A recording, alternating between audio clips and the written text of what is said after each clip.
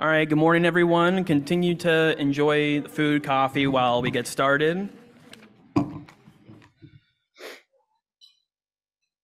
right, everyone, welcome to the eighth annual SWOG NCORP Research-Based Clinical Trials Workshop, where we come together to discuss topics related to the conduct of clinical trials in the five SWOG NCORP committees. My name is Sam Zengel, and I am a clinical research data coordinator at the SWOG Statistics and Data Management Center in Seattle, Washington.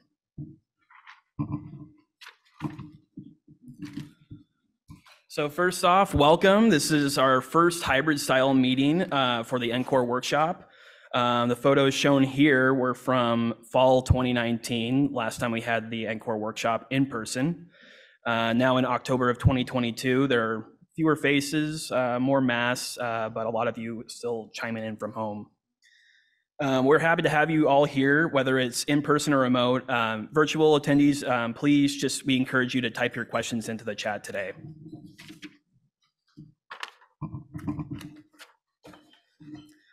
The SWOG NCORP research base supports the research activities and goals of the NCI NCORP in designing and conducting trials in key focus areas, including cancer prevention, supportive care and symptom management, health-related quality of life, and cancer care delivery. In addition, SWOG is committed to addressing cancer disparities research questions across all studies. By bringing cancer clinical research studies to individuals in their own communities, the NCORP research reflects national diversity so that the evidence generated contributes to improved patient outcomes and reduction in cancer disparities for all people.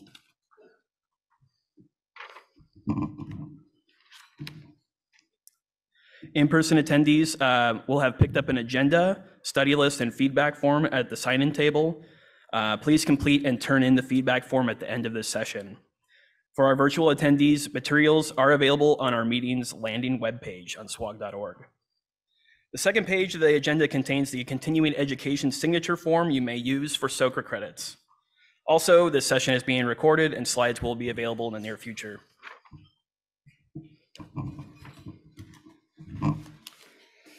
Today's agenda will begin with NCORP Vice Chair Dawn Hershman discussing the progress and opportunities for the NCORP research base, followed by three presentations related to various aspects of our trials.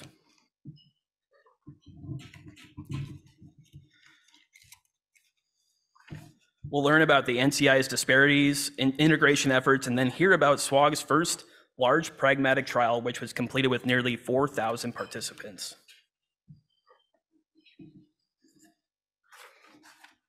Before launching into our presentations, let's get to know the team behind SWOG Core Research Base.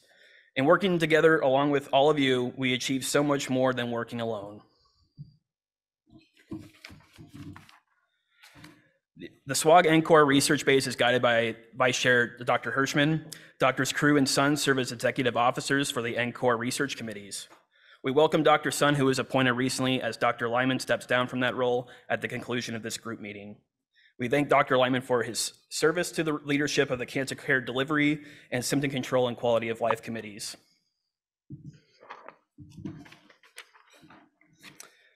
There are five scientific SWOG NCORP research committees with hardworking co-chairs for each. These committees promote and, con and, conduct trials to support the NCORP's goals to reduce cancer risk, improve care outcomes, expand access to care, increase quality, quality and balance costs, and reduce cancer disparities.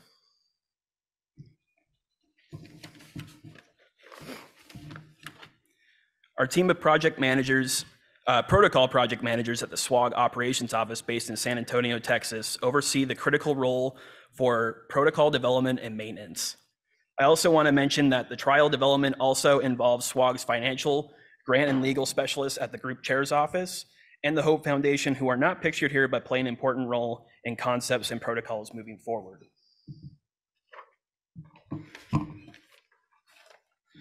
Our NCORP biostatistical leadership resides in Seattle at the SWOG Statistics and Data Management Center, SDMC for short.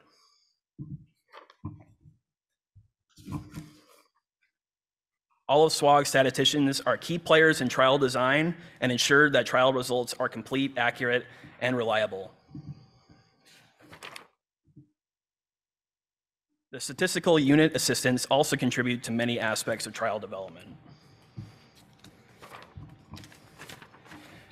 Many of you have corresponded with clinical research data coordinators who are the liaisons with study site staff. They also review trial data as well as participate in trial development. Whenever you email cancer control question at crab.org, the data coordinators will respond. Our data control technician provides important support in data management activities, and when you call with a protocol or data question, they are the voice that greets you.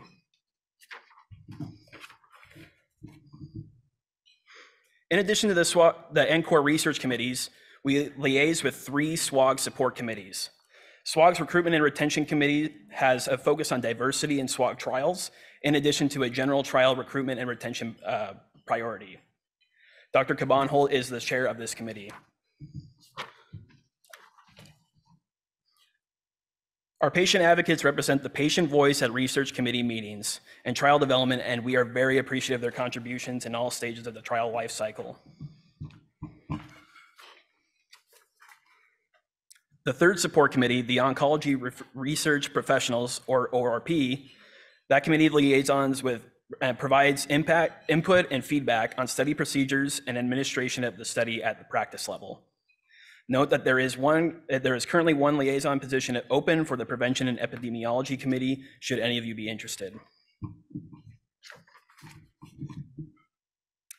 We also recognize Dr. Parker, SWOG's program officer at the NCI Division of Cancer Prevention, for his guidance and for his support and guidance.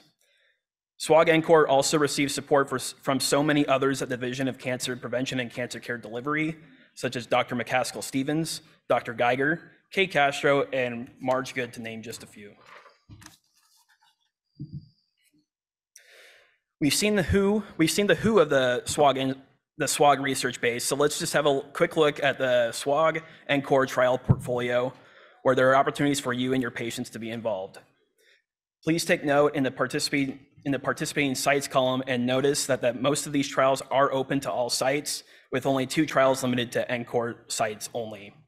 You'll hear more about these trials in the presentations today, and we encourage you to attend committee meetings uh, over the next few days. Be on the look for more ways to participate at three new trials will soon be activating. In addition, we are able to fully accrue to two trials in the past year with your help. And with this, I'd like to introduce our first speaker. Uh, Dr. Hershman is SWOG's NCORP Vice Chair. She will present on the SWOG NCORP research base, progress and opportunities.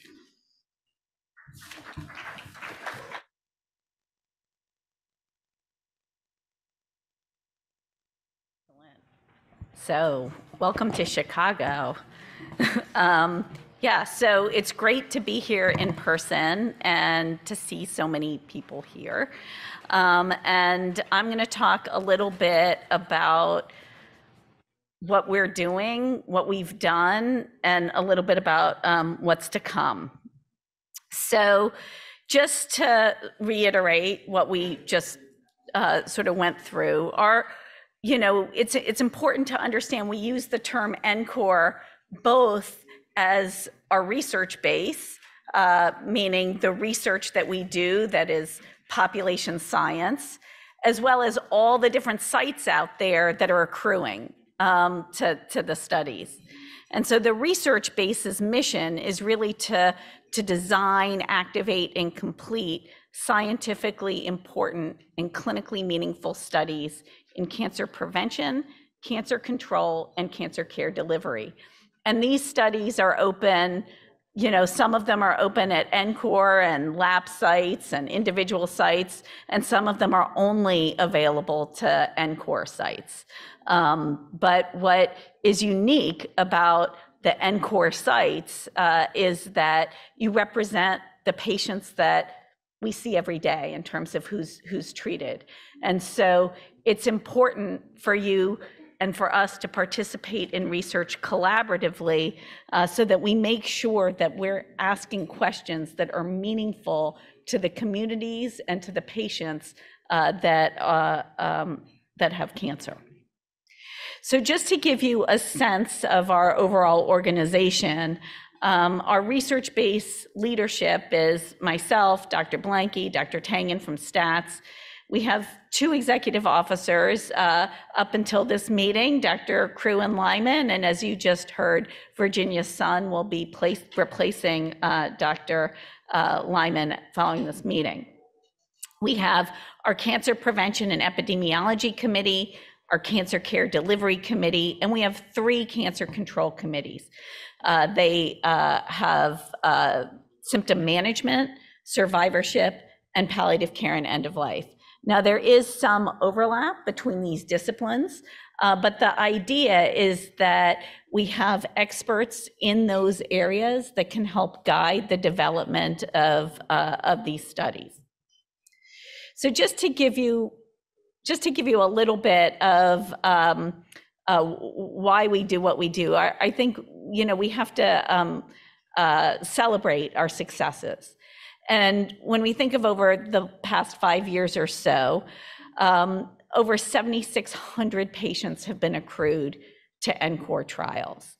Um, we've had multiple ideas that have been through the various different committees and, and reviewed at triage 29 8 10, over 10 have been activated most of them uh, are actually complicated and they require funding, not just the funding that we get from our NCORP grant, but also additional funds to help support the interventions uh, and the various um, activities of the study. And so multiple grants have been uh, submitted and funded. Um, our research has resulted in uh, 188 manuscripts and 111 abstracts. So every time you put a patient on the study, it contributes to that uh, success. So one of the things that's new, I guess the formatting's a little off on these slides, but one of the things that's new um, uh, this time around in the NCORP is that we have um, what we call our PRO core. And uh, as you all know, patient-reported outcomes have garnished more and more acceptance and um, recognition of their importance, not just in the NCORP trials that are uh, cancer control oriented for primary outcomes, but also amongst uh, NCTN trials in terms of really understanding the adverse events and experiences of the patients on the different drugs, because understanding that helps us figure out what the best treatments are for our patients so that we can help them with informed decision making. So the goal of this PRO core is to ensure that there's rigor in the PROs that are selected and that there's guidance and we have standardization um, from trial to trial, that there's consistency. Um, and then these, all of the measures that we collect on our patients are not just used for that trial, they're, they're used for many secondary analyses, which I'll discuss in a second. And they give us a lot of information about the experiences um, and tolerability of the treatments um, that we're assessing. So to give you an example of you know, how some of this data that we collect is used, in addition to our PRO core, we also have a large program in secondary database analyses. And a lot of this is the work of Joe Unger, who you'll hear about in a second, but this gives you a sense of just some of the trials that have recently, or analyses that have been recently published that really shed light on the experiences of patients. And we can take data from multiple different trials to be able to understand toxicities and experiences and side effects in ways that we couldn't just looking at one individual trial. So when you're you're out there and you're asking your patients to fill all out, out all of these questionnaires, it's it's important for them to realize the importance of it because um, ultimately it helps patients with decision making but it also serves as a basis for us to understand really important things like um, you know just to highlight one of them is you know that there are uh, differences by gender in toxicities. And the only way, especially the immunotherapy toxicities, and the only way we can know that is by looking at a, a lot of different trials uh, merged together. So just in terms of a little bit of success, these are studies that were published in the past year or so. Um, this is a study that was done looking at osteonecrosis. You can see that uh, the study accrued uh, several 3,400 patients. Uh, we were able to identify what the cumulative incidence was of osteonecrosis, but also to help guide what risk factors uh, there are for the development of this toxicity.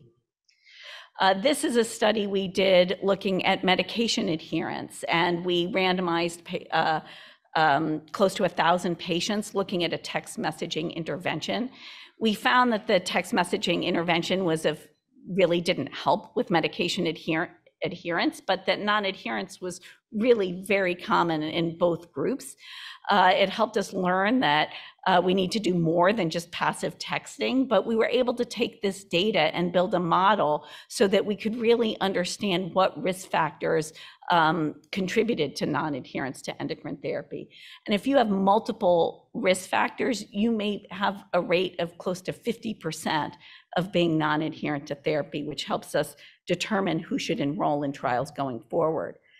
Uh, this is a study I'm not going to really talk about because you're going to hear about it more in a bit, but this was our first pragmatic trial uh, to help us figure out about use of guideline-informed therapy as a standard order entry uh, and whether or not that influences uh, prescribing patterns and outcomes. Dr. Ramsey is going to give a whole talk on this, but we were able to do this pragmatic trial, randomized by site, uh, modify the EMR and import, uh, as a result, we have uh, important outcomes that were uh, found from this trial. Financial toxicity is uh, super important. We hear about it a lot. A lot of the experts in the field of financial toxicity are, are in SWOG and leading uh, committees and trials in SWOG. This was the first prospective uh, cancer care delivery uh, trial assessing financial toxicity. And we found that uh, based on uh, what we call uh, financial hardship, or material financial hardship, that the cumulative incidence is close to 75% uh, in 12 months uh, amongst uh, patients with metastatic colorectal cancer. And you can see how that divides down, but uh, these kinds of trials looking at patients prospectively gives us a lot of insight uh, into uh, what that financial toxicity consists of. Uh, this is a study by Virginia Sun. She came in as a junior investigator, was able to get an R21 grant. Uh, this study uh, closed to accrual this past year. Um, and you know, looking at a really important area in terms of patients that undergo that have rectal cancer in terms of bowel dysfunction and looking at an intervention aimed at coaching and diet and uh, versus usual care to see if they could control the um, symptoms that these patients suffer from. This is an understudied area, a study you can only do in a group like ours, um, and uh, hopefully this data will be reported out within the next year. Uh, this is another study that uh, also opened and closed super fast, thanks to all of you. Uh, a study that's going to help us understand a little bit more about um, peripheral neuropathy, one of the most common and devastating side effects, I think, of, of so many chemotherapy drugs that we give. Um, this study enrolled 1,300 patients in less than two years. Uh, it serves as a huge repository for us. Um, this, some of the results have been presented at ASCO uh, this past year and will be presented uh, at San Antonio Breast Conference uh, in December. But just to give you an idea, just looking at baseline, huge differences at, in baseline in terms of how the physicians reported patients' baseline symptoms versus how patients reported their own symptoms based on PRO CTCAE. Really, two equivalent measures in many ways. Um, but before we even start treatment and really showing the importance of, of asking patients about their own symptoms as opposed to relying on us to report what the, the patient's symptoms have. What's super exciting about this study is that these investigators, after doing this trial, were able to uh, get an RO1. Well, at least it scored sixth, sixth percentile, so hopefully they'll they'll get their notice of award pretty soon. Um, really, to interrogate the biology of the samples that were collected, to really provide insights so that we can better you know, predict who's at highest risk for getting this. So if we have two potentially equal options, we may choose something less neurotoxic, but it also opens the door for drug development to try to think of ways to maybe prevent this uh, side effect of treatment. In terms of ongoing trials, there are many trials you can still open and accrue to. This is uh, 1904, which is looking at prevention. We know that hormonal therapies can reduce the risk of breast cancer in patients that are high risk. Yet, despite that, many, many patients that are high risk don't take them or don't even know about it. And this study is um, a study looking at patient and provider level intervention. It's 50% accrued, so we're getting there. So, if any of you have this open, uh, please continue to uh, accrue to it.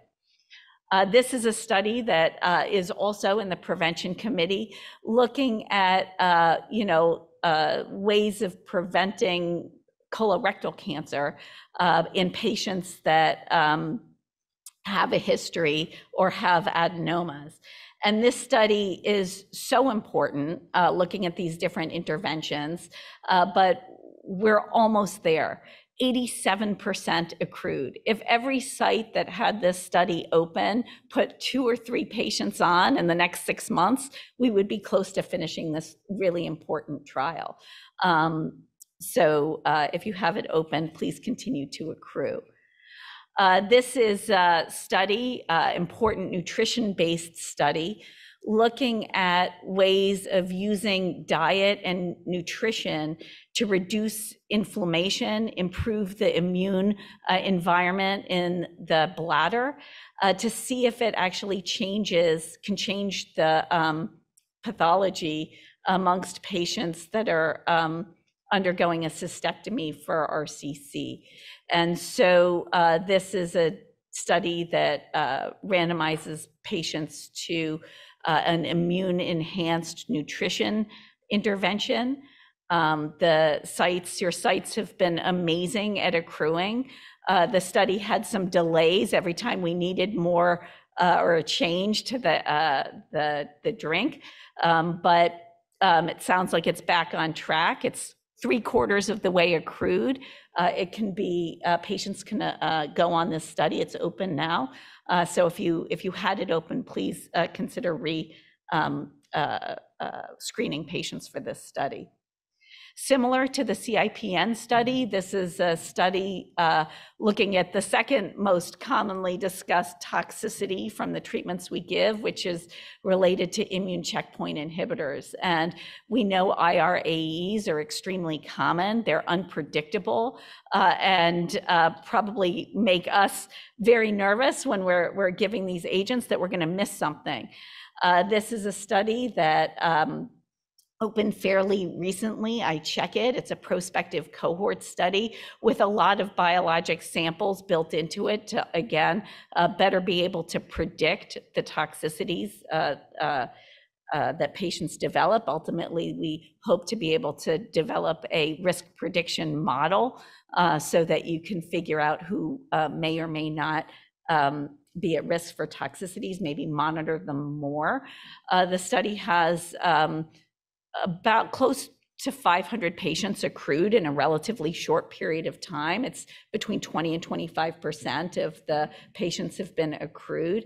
Um, and uh, lots of people interested in looking at um, various different biomarkers for the development of this toxicity. So uh, we really appreciate the, the rapidity of which this is accruing uh, and continue to accrue. Uh, this is a huge success story coming um, also out of our prevention epidemiology committee, looking at seeing whether or not we can use uh, this biomarker, microRNA 371, to uh, help us with the management and predicting outcomes of patients with germ cell tumors. This study has accrued extremely rapidly, um, despite the fact that testicular cancer is a rare uh, rare cancer. And a lot of it comes from networking and communication and using all of the, the um, uh, uh, social media and partnering with all of the other groups uh, to get this study done. This is accrued extremely rapidly. It's about 60% accrued. It resulted in a junior investigator getting an R37 award. So it, um, a lot of science will come out of this. Uh, it also um, uh, will, will help us define the way uh, testicular cancer can be treated going forward. Um, this is a study, a follow-up study that to the uh, financial toxicity uh, cancer control delivery, uh, cancer care delivery study that was done as a prospective study. Uh, to follow up on that is an intervention trial to see whether or not um, a financial navigation program can reduce financial toxicity. Uh, knowing that we have financial toxicity is only half the battle. The, the real battle comes in terms of figuring out how we can mitigate it for our patients. This is a, a trial that is all done remotely in terms of financial navigation. It involves patients and caregivers. It's been challenging to find partners that want to enroll in a trial together. A lot of modifications have been made to this trial to make it simpler to accrue. So if you had it open in the past and had a hard time, please reconsider it because a lot of the new modifications should make it simpler. We've put many patients on at our institution. Uh, once you find the right patients, uh, it's relatively easy, uh, and it's uh, it's really important um, for uh, uh, patients and the patient survivors, uh, you know, that, that they're partnered with. Uh, this is a trial that is also um, lagging a little bit in accrual. Uh, we'll probably, based on what we have, be able to reduce the number of patients that uh, we need for the study. Um, but it's a really simple study to, to open and accrue to and uh, follow patients on. I have many of my patients on this study. And it's really looking at ways that we can de-escalate some of the scanning that we do for our patients. We, we have patients with metastatic breast cancer that are getting scanned every three months like they were done in clinical trials. And when you ask practitioners, they don't know whether they should be doing it that often or less often, especially in patients that have normalized their tumor markers. So this is really asking a very simple question. Can you just follow the tumor markers instead of having to get scans every three to four months? Um, so if you don't have this study open, really you should look at it. It's very easy um, and really can help guide us in terms of care delivery. Uh, this is another study that's uh, looking at ways of pre preventing um, some of the cardiac toxicities that are associated with um, uh, with some of the chemotherapy that we give, particularly the, the HER2 positive uh, treatments we give for a long time. And so this study is looking at whether or not carvedilol can prevent that cardiac toxicity. Um, it's really anybody in the metastatic pa cancer patient population that is high risk and is planned to get some type of HER2 targeted therapy. And it randomizes patients to carvedilol uh, versus usual care. Um, the tricky thing with this study is that you have to have an echo that gets registered and the data has to be uploaded. Um, but other than that, um, uh, it's about a third done. So if we can, you know, if now that we're giving more and more HER2 targeted therapy for longer periods of time, I think if you're having any challenges accruing to this, please let the investigator know. Um, but it's answering a really important question. Now, there's some new studies that are, are just on the docket for opening that we're really excited about. Uh, this is a study uh, from Cancer Care Delivery that is evaluating the role of um, uh, it's looking at precision medicine and evaluating the role of um, genomic tumor boards. We know that in some large academic medical centers, there are genomic tumor boards that help people interpret, you know, some of the results of the different, um, you know, the multiple different tests that are being sent for genomic eval- evaluation of patients' cancers.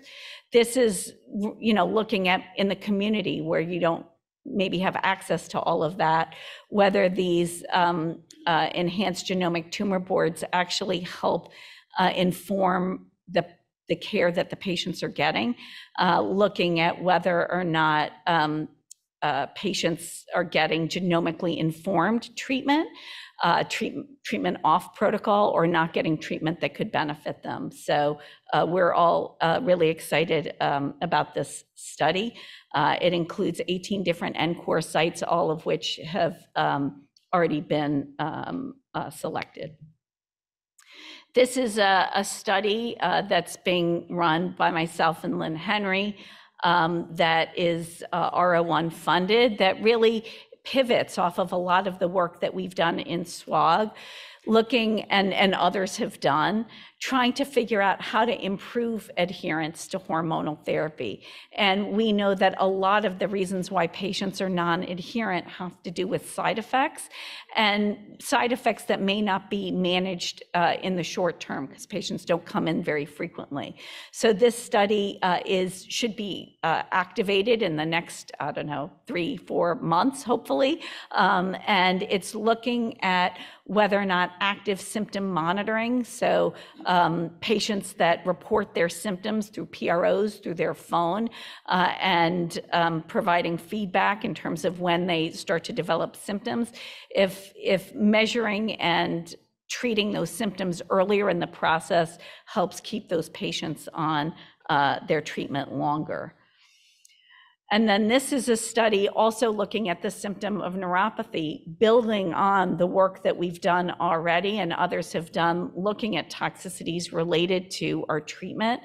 Uh, this is being run by Melissa Accordino in collaboration with Dr. Pennington from NRG, looking at a cooling device that is provides both cooling to the hands and feet and compression in order to prevent uh, the neuropathy that patients get um, from taxanes or, or platinum-based treatment. Uh, so again, this study should be activated in the next uh, few months. Uh, and finally, uh, this is um, a trial that uh, is being run by Dr. Sun and Dr. Raz looking at ways of improving lung cancer patients' outcomes before they go to surgery. And so it's an inter it's a perioperative physical activity intervention prior to patients going for their uh, cancer-directed surgery. Uh, it's a study that was funded by um, uh, PCORI and is currently going through the process of, uh, of evaluation at the NCI.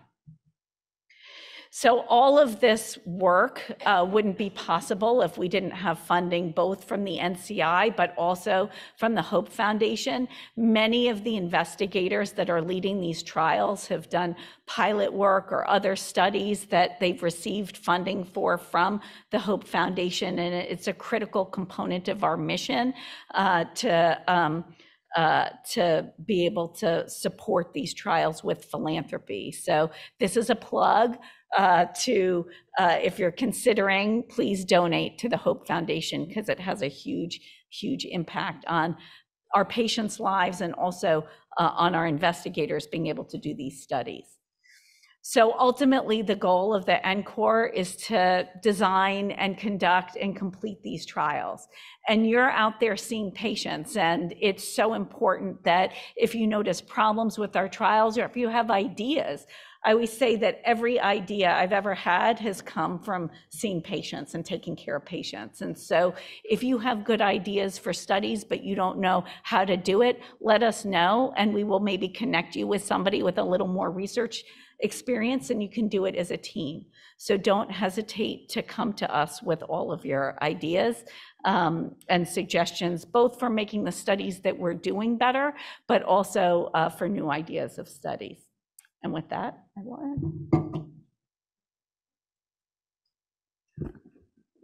All right, any questions from the audience? Dr. Barenberg?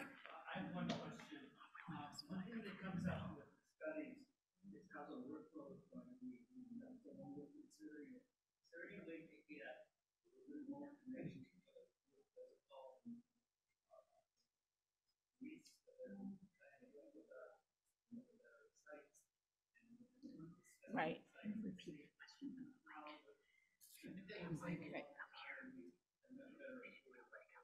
Well, it's, it's a great, it's a great point. So, you know, we're always in this, we're asking sites whether or not they're interested based on a concept. And then the study completely changes by the time they see the protocol. And we hear that a lot, like, because, you know, so much happens back and forth in terms of design. And what started out as maybe being a study that you could accrue to then becomes something that all of a sudden, all of those changes make it challenging. And so um, we are trying to work through processes so that we're getting more feedback from community sites during the, the time between concept and protocol um, so that we can make sure that um, the, the studies may remain relevant and doable, um, if that's the question.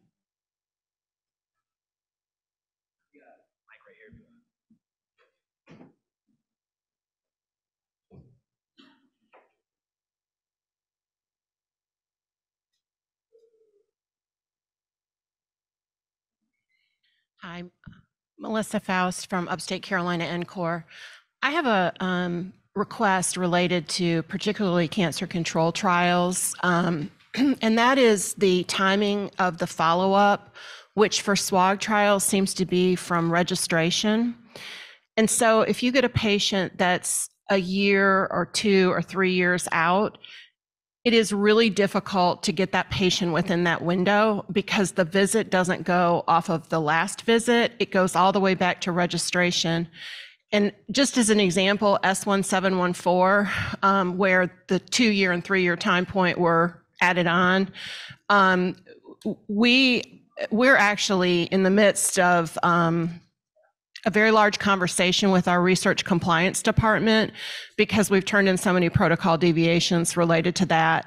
And, you know, because of how patients need to be seen following their cancer diagnosis and their treatment, it's just not feasible to bring them in just so that the doctor can decide whether they're having, you know, what's, what's their burden of peripheral neuropathy. So you know, I don't know if, I know for Be Well, they changed the follow-up because of the similar situation. They changed it to the timing off the last visit. Or potentially even easier would be if you could widen the windows from the 28 days. I, I, it's an excellent suggestion, and I think for the purposes of the way we analyze data, widening those windows is a really good suggestion so that we can, we can um, uh, make it so that you don't get as many pro- protocol uh, deviations because that, that is probably for those one and two year endpoints, having wider windows um, probably doesn't matter as much analytically. So that's a great suggestion. I would say one of the other things that we need to think more about is how we can collect this information remotely. And so we are working very hard in terms of like EPROs and other modalities where we can try to figure out how to uh, make, if we can't get a patient in, can we get 80% of the information remotely? So trying to figure out how to do that when we can Um, is also something that's high on our priority list. So we would have no problem getting patient information remotely because we'll call the patient, we'll text the patient. A lot of our patients don't like to do electronic pros. The problem becomes the part that the physician, for which the physician is responsible, because our physicians are not going to make a telehealth visit to complete that questionnaire because who's going to pay for that time and et cetera, et cetera. So I love the remote completion and you know, we've talked about this ad nauseum in my site, but um, what I think we're going to do is we're going to ask the patient about their neuropathy, and then we'll go directly to the investigator to decide on the attribution, because we're in big trouble with research compliance, just to be frank. So how, is it because they're la, and I guess the question is how strict is it that the patients, you know, come up? Can they, you know, can their clinic visits be more in line with the to fit into that window, like if, if they're coming in at one, one year. Well, the thing is, is Come in at 11 months or. at our site, and, I'm, and I can only speak for our site because it's the only cancer center I've ever worked at. But once a patient's completed treatment, they're generally seen every three months for a period of time, and then they're seen every six months for a period of time, and then every year. And because of the timing based being based off of registration, once they're off one time for a visit, when it gets to be the 28 and 52 weeks, they're always going to be off. Mm-hmm. And our providers, you know, they're trying to follow the standards of, you know, cl- clinical practice and, you know, how often the insurance will pay for them to come in, et cetera. Now, what we do is we hope that a sick visit will happen and we'll run up and see the patient. But anyway, I, I just, I know that the, um, there's some, some great uh, cancer control protocols that are getting ready to open that I know will want to participate in, but I cannot uh, go through this again. And this is my director and she cannot either. So, I mean, there's a lot of variability of when that one-year visit is, just, you know, from a clinical practice standpoint, you know, for those follow-up visits. Um, But we can definitely go back and look at the trials and see if we can make some of those follow-ups, those long-term follow-ups be, you know, a year after they completed their treatment, uh, you know, or, or something like that um, in some way, but, uh, or, or just have wider windows. Uh, There was one comment um, from the uh, virtual attendees, um, from Andy Baker. Yes, having time points based off both treatment and registration makes capturing, vi- capturing visits within window difficult. So I think we That's the same- spoke I think that. that's the Yeah, same We spoke question, to yeah. that, so. Okay, so if that's a common question, then we do need to figure out how to deal with it, and it may be related to widening those windows, may be the best way. Okay, any, any other questions? Thank you, Dr. Hershman. So now, um, I'd like to introduce uh, Joe Unger, uh, our SWO SWOG Pro Core Lead and Vice Chair of the SWOG NCORP at the Statistics and Data Management Center, in his presentation on the use of patient-reported outcomes in SWOG trials, past, present, and future. And following his presentation, we'll have a a panel. Uh, Thank you, Monica. It's good to be back. I, uh, this is my first in-person presentation in two and a half years, so. Um, The last time I gave one, everybody was, had one foot out the door running for their, for home uh, as the pandemic was launching, so uh, I assume that wasn't the material, but it's possible. Um, Anyway. I, I just wanted to point out that um, I know everybody tends to think of Seattle as this sort of wooded wonderland, and and it is. Um, this is another excuse to show a picture of my kids, but um, it also is a problem that we have a lot of fires lately. You can see this uh, image of the uh, red dots showing um, air quality index indicators, which we just got a five minutes ago, just got another email from from our institution saying that you can smell the smoke inside your offices inside our building because of the forest fires. It gives beautiful sunrises, but they're kind of apocalyptic. Um, in contrast, here in Chicago, the air is wonderful. As you can see by that green, I never realized I'd have to come to Chicago for fresh air, but here we are. So I'm going to um, talk about a lot of different topics as they pertain to uh, patient-reported outcomes.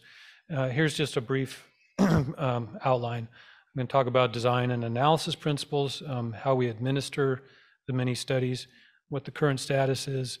I want to give an example of a trial that has been completed uh, to show, uh, really basically to show everybody the um, you know, the results of all the contributions uh, that all the sites, whether that be NCTN or NCORP sites, have put uh, towards patient-reported outcomes and how meaningful they are.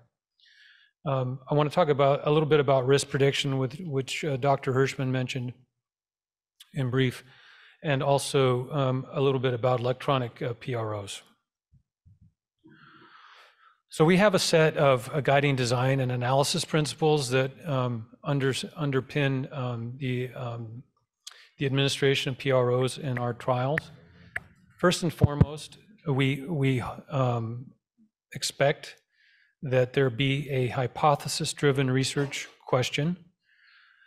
We also expect that there, that the, um, that validated PRO instruments be used. Validation is a very uh, meticulous process that basically boils down to making sure that the instrument that you're using measures the thing you think you're measuring. And that's critically important.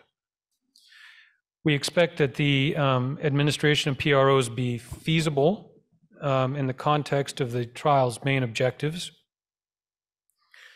Uh, feasibility, for instance, was just raised as a point uh, in terms of windows and timing when somebody goes off schedule. Um, it's important for design um, relative to your question, and it is an important question that we think about a lot. Uh, I'm going to digress for a second if I could, because I wanted to get up and respond. Um, it's really important that we maintain consistent assessment times across all the patients However, we recognize that some patients get off schedule, so we try to allow for alternative ways for PRO administration, whether that be by telephone, uh, by email, uh, by broadening the windows of administration, and increasingly electronic patient-reported outcomes. So these are things that we do think about, and um, happy to think about them more if it's becoming a real issue. Um, we do try to minimize the burden on patients and sites. PROs are generally assumed to take, you know, hopefully take 15 to 20 minutes for each patient. That's been kind of identified in the literature as being really optimal. If it becomes too burdensome for patients, they're likely, more likely anyway, to just say, forget it, I, am too busy. And then you end up with really important issues around interpretation because you have a lot of missing data. So that is another issue and then and that uh, can also induce bias. And and so we we spend a lot of time thinking about a biased assessment. These um, design principles actually they all fit together into a nice uh, sort of symmetric pattern. They are interrelated each with each other. They can induce either a virtuous or a negative cycle depending on the study design. As just one example if you have hypothesis driven research questions this will tend to limit patient burden because you know what you're asking about, and it enhances feasibility.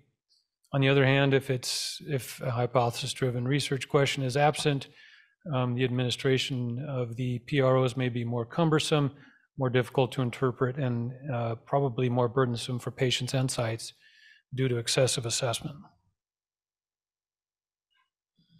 Interestingly, when uh, this is from a paper that we put out um, to sort of highlight our strategies in general.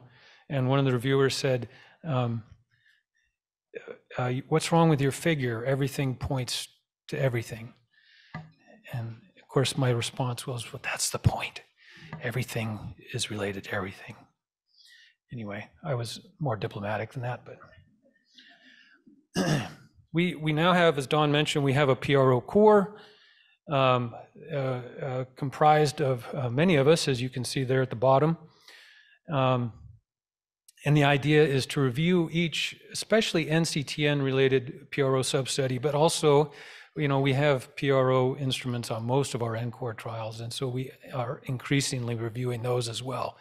Not to adhere necessarily to all of the strictures that I outlined, because there tend to be a lot more uh, PRO instruments on NCORP studies, but nonetheless to try to consider everything that are go under our guiding principles. So it's not just NCTN anymore, it's also our NCORP studies. Um, what we try to review for scientific content, feasibility, design, resources, and also try to push folks towards common instruments, whether that be the PROMIS or the FACT-based instruments, unless there's a rationale for a different, um, uh, a different uh, instrument paradigm. This is our current uh, uh, set of, uh, of studies. These are PRO sub-studies to NCTN trials, so this is not just the NCORP side. These are just the sub-studies to NCTN trials. So Dawn, you highlighted 22 studies, it's now up to 31. Um, and uh, of course, the person who has all of these in her head is Ria. And so she, you know, whenever we have a meeting weekly and she mentions a study, my common response is, now which one is that? And, and she has all the answers in her head um, because she keeps track of all this stuff for us, thank goodness. But uh, as you can see, it's, it's quite a substantial list at this point. And much more, to be honest, um, and maybe a, a point worth mentioning, Dawn, when you have a chance to get up here on the panel, um, much more than we were um, thought we were funded for under our core grant initially. Um, so we're, we're trying to stay on top of it as best we can with somewhat limited resources. I want to um, mention that one of the positive trials um, uh, that was that's uh, going to be published here in JAMA Oncology here very soon. Uh, it's a, quality life uh, sub-study to S1404, which is a, a trial of adjuvant pembrolizumab um, uh, compared to uh, high-dose interferon or ipilimumab in, high, in patients with um, resected melanoma as you can see, um, it, it's, it's actually, it actually takes more time to corral all the authors to do what they're supposed to do, all the co-authors, than it actually does to analyze the study. It's just a, a point of, uh, so if you're interested in being a, a quality life PI, um, just be uh, aware of that issue. So 1404 was an intergroup randomized phase three trial that examined, again, whether adjuvant pembrolizumab improved clinical outcomes compared to standard of care with um, physician or patient choice of adjuvant ipilimumab or high-dose interferon.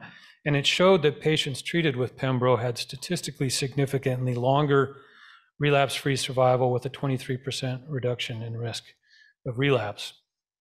So we examined quality life outcomes by arm to uh, further address uh, the, the, patient experience. The study was conducted at 211 community and academic sites. Um, it required uh, patients with stage 3A through 4 melanoma of non-ocular origin who'd undergone um, complete surgical resection of their primary. Patients must not have had prior immunotherapy, and those who were able to complete questionnaires in English, Spanish, or French were required to participate in the quality of life assessment. We assess patients um, uh, at baseline as well as at regular intervals up to and including um, uh, th through protocol discontinuation and, and at recurrence. Uh, we used the FACT biologic response modifiers um, trial outcome index was the primary endpoint, which is comprised of the FACT physical well-being and functional well-being um, domains, as well as the BRM physical and the BRM uh, cognitive emotional subscales. The primary endpoint was at cycle three, which was um, uh, deemed at the design phase as being the assessment time that would uh, adequately reflect the cumulative incidence, uh, excuse, me, cumulative impact of treatment while also minimizing potential differences in attrition. and that, that, by the way, is, is the kind of the consideration that we try to target when we're figuring out what would be the time point for the primary assessment of a PRO um, or quality of life um, assessment. That is to say, which which doesn't go, which assessment time actually can differentiate between arms potentially, but isn't so far out in follow-up that you have these issue of attrition, potentially differential attrition between arms. We had 94% uh, power to detect a five-point difference, uh, which was deemed minimally important uh, based on the literature and we used linear regression and linear mixed models. um, as it turned out, we had 832 patients who were uh, analyzable uh, for this assessment. Um, now, this study had a bit of a different design, and is probably not something we tend to do, which is that you, we only examined patients up through up to progression.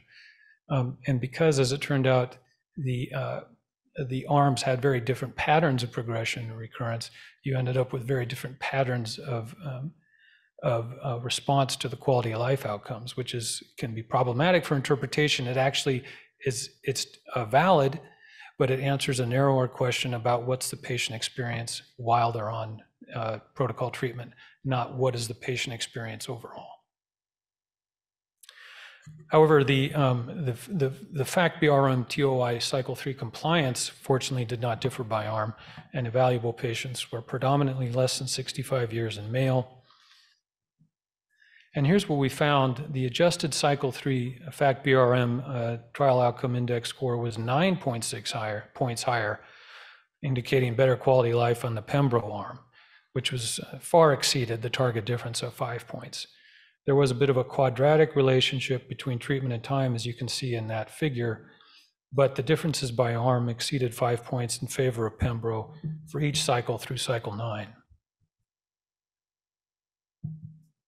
So this was the largest, the published adjuvant anti-PD-1 monotherapy study in melanoma to date, and it showed that quality of life endpoints for patients randomized to Pembro were superior of those uh, randomized to standard care.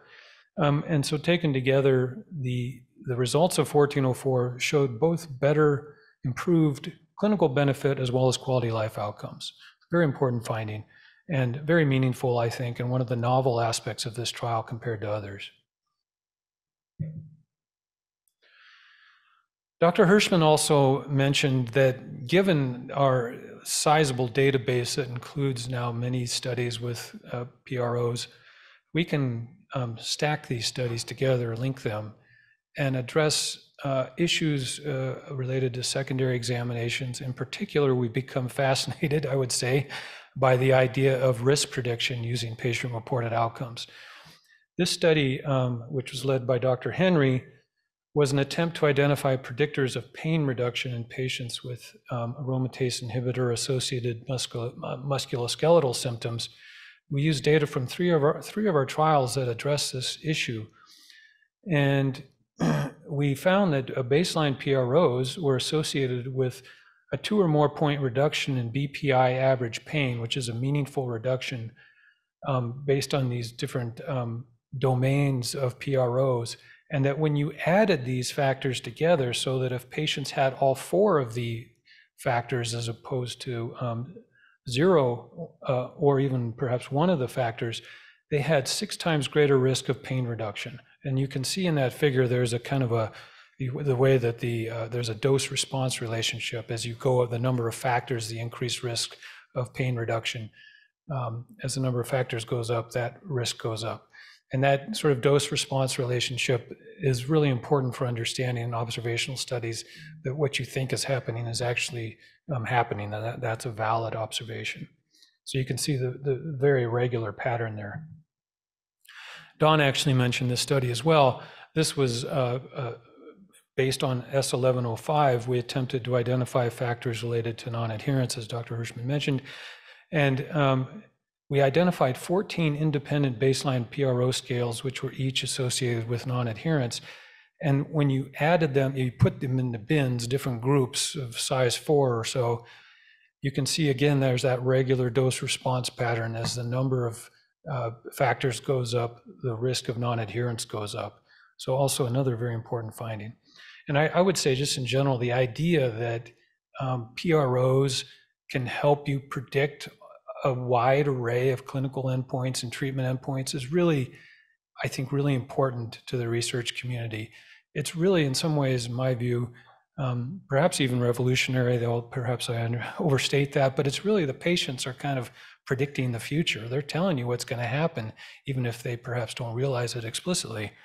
But you can, uh, you can derive that from their patient-reported outcomes.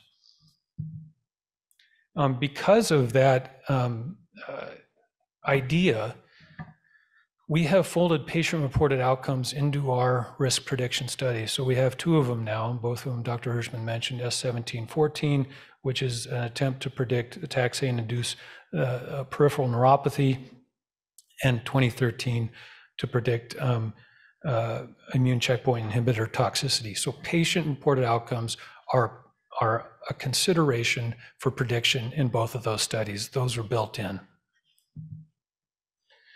And I just want to finish by mentioning electronic patient-reported outcome assessments. In 2013, we are piloting ePRO. Um, this is really SWOG's first effort to do so. And it is optional. We have intentionally left it optional for patients to choose whether or not to use paper or electronic. And as you can see, very few patients actually choose electronic, just 11% to date. Um, and looking at the data, there are demographic differences. Patients who choose electronic um, were more likely younger and white, And among those who were less than 65, they were less likely to have Medicaid insurance. So there is something structural and systematic about the way patients, uh, whether or not they choose to use electronic patient-reported outcomes. In my view, this has um, this has implications for how we use EPRO. I think at this point, it's important to realize that we want to avoid inducing inducing disparities in participation quality of life studies by maintaining both the electronic and the paper options. I really think that's critical because we don't want to start to exclude patients by requiring EPRO for our studies and no paper option. We don't want certain types of patients, certain groups of patients to decline to participate. So challenges and lesson, lessons learned. The uh, one, the use of EPR of PROs is nowadays ubiquitous in randomized trials. Just about all of them have it. We try to maintain adherence to guiding design analysis principles as much as possible. We do triage our proposals. We try to ensure we have the resources to do it.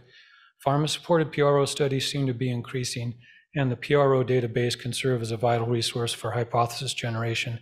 And just to end, this is a, uh histogram of the number of um, studies with uh, PRO sub-studies just on the NCTN side over time. And as you can see, it's growing quite rapidly. So it is uh, quite a big uh, part of our portfolio now. Thank you. Uh, Thank you, Joe. We'll now invite our panel presenters uh, for, our panel discussion, actually, for the pro group. So we have um, Allison Nair, who is with us virtually today. She is a clinical research associate and nurse at St. Joseph Hospital in New Hampshire. We have Dr. Hershman, as you uh, have met already. Uh, Matt Ing is one of our data coordinators at the Statistics and Data Management Center in Seattle. And uh, we have Riha Vaidya, the coordinating statistician of the ProCore, also from Seattle. Um, Before we proceed, I just wanted to mention that we do have some sliders still available. There's plenty of food if anyone wants to go up to um, refresh themselves, because I think they'll be taking the food away pretty soon. So please help yourself with that. All right, so we have our members up. Would you like to start? And is Allison on the line and unmuted? I am. Oh, yay, she's here. Hi, Allison. Hello. Thanks for joining us. Thank you for having me. Great, so we wanted to talk a little bit about uh, ePro, right, Joe? Um, Experience, challenges, or concerns? Sure, go ahead. I I wasn't sure who was driving? driving. I think you are, but I can start maybe. Okay. just to get things going. Um, So uh, Dawn, uh, to you at the end of the table there. Uh, First, um, you- our figure that shows how many sub-studies we have certainly does not, was not anticipated in our core grant. What are your thoughts about what, um, how we're anticipating, then, how we're thinking about this issue, considering it as we go into our next core grant cycle? Yeah, I think it really, I mean, it really reflects our evolution over time, right? So when I first started coming to SWOG and, you know, the last century, um, you know, you know, people were very anti, you know, patient reported outcomes, very anti questionnaires that it would, it would somehow um, limit the patient's desire to go on the trials. And, you know, I think that over time, we've really been able to show really the opposite. And, you know, conveying the messages to patients like that, that this information really helps other patients make decisions down the line about how tolerable or toxic or that the treatments are, how much it affects their quality of life. And, you know, I think it helps a lot of patients feel engaged. And so, um, you know, we have really great data collection. Um, and, uh, you know, I, I mean, I'd like to hear from other people in terms of whether or not they think it's, you know, we're doing too much or too little. But it's hard to imagine being able to evaluate two different treatment modalities in, in the current setting without having that, that data to report at the end, because we just know what we did in the past was really insufficient and resulted in us grossly underestimating the toxicities of many treatments. So that being said, we've also made a lot of progress in terms of how we collect that data and how, you know, we know a lot more about how to analyze it and there is a lot more efficiency as a result. So it, it doesn't cost as much to put a few PROs in, in terms of the, what we get back from it. Um, so I think that on, from our side, we, we really rely on the PRO core and that evaluation to figure out what are going to be the most meaningful questions down the line uh, that are going to help with decision making. Because that's really how it's, how I think it's used a lot in terms of toxicity, especially when the margin of benefit is small. And, you know, knowing that, it's, I think, our priority as we start to think about the next grant cycle to make sure that we have sufficient resources to be able to, you know, include PROs in the NC, as many of the NCTN trials where the results are going to be meaningful. And, you know, the reality is they're being used not just in phase three trials, they have meaning in phase two trials. And even, you know, in phase one trials where we're trying to figure out the maximum tolerated dose, maybe we need the patient's information to know what's tolerable. So, you know, I think that, um, you know, what, what's, what lies ahead for us is figuring out the most efficient way to collect it. And while EPRO is, so maybe a little bit foreign to patients now, I think that the technology is evolving and patients' acceptance of it is evolving. And maybe with a little more education and, and other things on our part to make patients feel more comfortable as the technology gets better, that will also save resources uh, for being able to, to, to do more of these studies. Yeah, I mean, EPRO is the, is the future. The question is how quickly are we going to get there? And what do we do in the meantime? Um, But I, I completely agree. I, I want to actually ask uh, Ria if I, if I could, just, just to pivot off of that point. Ria, I know you've had some thoughts about how we could um, um, make EPRO administration even easier for sites. Um, If you wouldn't mind speaking to that. Sure. So, uh, Jill, like you showed the slide for S 2013, I mean, there is certainly not a lot of uptake for EPROs yet, and it's still newer. We've, we're only using it in one SWOG studies. Maybe other groups are also using it in a few studies. So, really, I think the question is what do we need to do from like the patient perspective where we might make it more user friendly because right now I think we focus more on apps to collect EPROs. So maybe patients are more comfortable with something like a REDCap link being emailed to them. Maybe that's more familiar to them because that's happening for other things. So that might be one option, just kind of relying on maybe email and a web survey rather than an app, which may be hard for patients. Um, just because you know you need to have the right phone and the right operating system and then everything needs to just work seamlessly and you need to figure out how to use a new app. So some of those challenges are worth thinking about. Also from a site perspective if sites have to spend time teaching an app like just sort of how to download how to use this app to a patient is that taking away from time doing other things? So just a few considerations. And I mean, also with Um, the new trial we're doing for active symptom monitoring, we're going to be collecting data. If patients don't have a smartphone, we're, we're using text-based technology to get that data as well. So I think also recognizing that not everybody has great internet, not everybody has that type of the smartphones for apps, that if we're broader in how we collect that remote data, it also may help um, uh, uptake or familiarity for patients. I- completely agree with that. I think the access to the technology can be a bit of a hindrance and induce disparities in response patterns, and I think we've already seen that.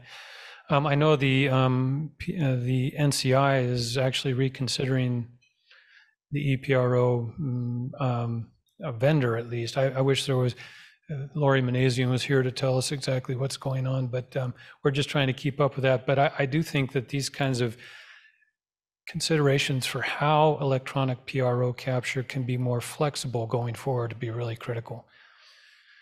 Um, And if, sorry, go ahead. I mean, just on that, you know, I work on another trial with EPROs. It, it could go the other direction too, in terms of like making sure that we have, you know, data collection is, is complete, right? And so one of the things we feel confident about is that if we have the patient and they're in front of us and we give them that form and we're standing in front of them, we're going to get that data.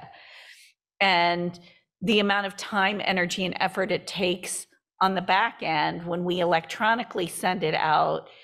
And then we have to check to make sure it's done. And do you send them another one? And do you send the sites information? Do you audit? Like, we're, at much greater potential for missing data as a result. And so we know from trials in general that rely just on electronic data capture that the missing data goes, does go up unless you create a whole infrastructure around it for auditing um, to make sure that when patients don't fill out everything or don't fill it out completely, that somebody's on them or on the sites to make sure that it's getting done. So what we think may be improving or reducing costs or improving access may have some other consequences that we need to pay attention to in real, real time.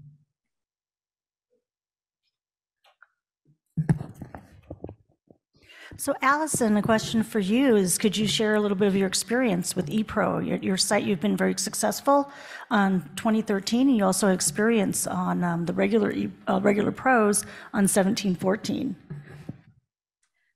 I have. I I joined a couple of years ago when as, as 2017, uh, 1714 was all done at that time on paper. And it was during the pandemic. I was very lucky. We were as a hospital not to have many of our cancer patients experiencing the pandemic and getting sick at that time. So I was able to really collect all the data. However, in a small research hospital like ourselves, where there's only a 0.4 FTE, every minute counts. And the ePro, as I as I understand, there, I understand the, the problems that are inherent in it. I have had a wonderful success with it so far.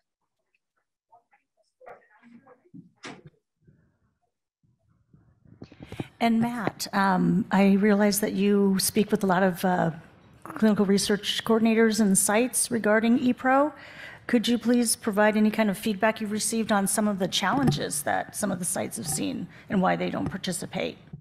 Yeah. Um, so on S 2013, we have a feasibility questionnaire, um, as um, Dr. Unger mentioned previously, where we're looking for feedback from the patients on their experience um, through the whole PRO um, from beginning to end. Um, and so for patients that are on ePro, we ask um, a series of questions about their experience. And for those that are not, um, for those that are doing traditional paper-based PROs, we ask um, why they didn't choose ePro. And um, based on those responses and some of the feedback that we got from sites, the number one reason seems to be that um, they're just not familiar with smartphones or mobile apps. Um, that seems to be really the biggest reason. And then um, secondly, um, they don't own a smartphone or tablet, so they don't have the capability to do that. So um, it, it's still very early on. Um, uh, the study just opened last year, so we don't have the full picture. Um, but it is still important. These points are important to consider as we start implementing ePro in some of our future studies. There's also a comment in the chat, thank you, Matt, um, from Judy Johnson, uh, as an option as well, if study site coordinators have the time, collecting pros when the patient visits clinic could help and also build rapport, patient relationships too. So that's a really good point. Thank you, Judy.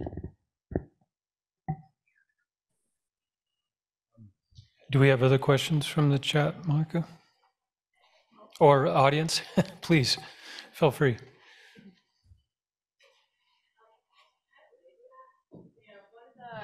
Oh, thank you. Hi, I'm Claire. Um, One thing I see, I see a lot of patients do uh, in-person assessments versus electronic. And one thing I think about a lot when I administer these PROs is, you know, on the research side of things, this is a data point we're collecting, but to the patient, that's their life. And handful of times, the responses are unremarkable. They're answering, they feel good, they're fine. But there are a lot of times also when patients report, you know, answering the mood questions or like physical pain questions, they're having a really hard time. And sometimes I just feel awful asking the question and just moving on. And I engage with them. But I just wonder, as a research coordinator, do we have like a duty to do anything else? Obviously, with the clinician or oncologist, they might be already having these conversations. But sometimes I just feel like this is such a personal thing, and we're the NCORP, we care about their experience. Should we be doing anything? You know, if they're scoring a certain number, should we have to then do something? Like if they're not already having a psych referral or doing something with their pain management, a lot of these things are psychosomatic. So I just want to see how we can, you know, even care more for their experience. So I'm, I'm actually going to, I'm going to defer to Dawn primarily because she's in the clinic. But I would say formally, I don't, to my knowledge, the responses on, on patient-reported outcomes are not formally folded into sort of individual care guidance. But informally, I could see how that might occur. Dawn? I mean, I think that's what separates collection of PROs for research purposes from active symptom monitoring, which is where you act on that change from baseline. And, you know, eh, you know, I think that there are studies that we're doing where that's built into it to alert somebody if there's a big change. I think most IRBs require that if you're asking psychiatric questions that you know that if somebody reports that they're suicidal for example you have to have something in place to act on that in real time I think um, a lot of the measures are domains, so you can't really tell how they're doing or how they're changing unless you calculate a score and look over time. So it's not, they're not really meant to be acted on. That being said, if you do notice something, you can always encourage the patient. You know, if you're if you're having a hard time, you should discuss it with their with your provider because they may have some suggestions for you. So it's always, if it is something as a coordinator that you notice, or if a patient expresses to you, you know, it's, it's a good idea to either, you know, not only to let the research team know, but also to empower the patient. If they haven't felt comfortable bringing it up, it may be something that they want to discuss with their provider. Um, Any other questions if, if not, I'll turn it back to you, Monica. Thank you very much. We appreciate um, the panel. If you have any other questions, be sure to contact us or send your uh, questions in chat if you're virtual, or come speak to one of our panel presenters afterwards. Thank you very much. We'd love to introduce now Yvonne Lackey, um, who will come and speak with us on a very provocative title, A Walk on the Wild Side. Um, Yvonne is currently at the Pacific Cancer Research Consortium, NCORP, and she previously worked with the SWOG Statistics and Data Management in Seattle.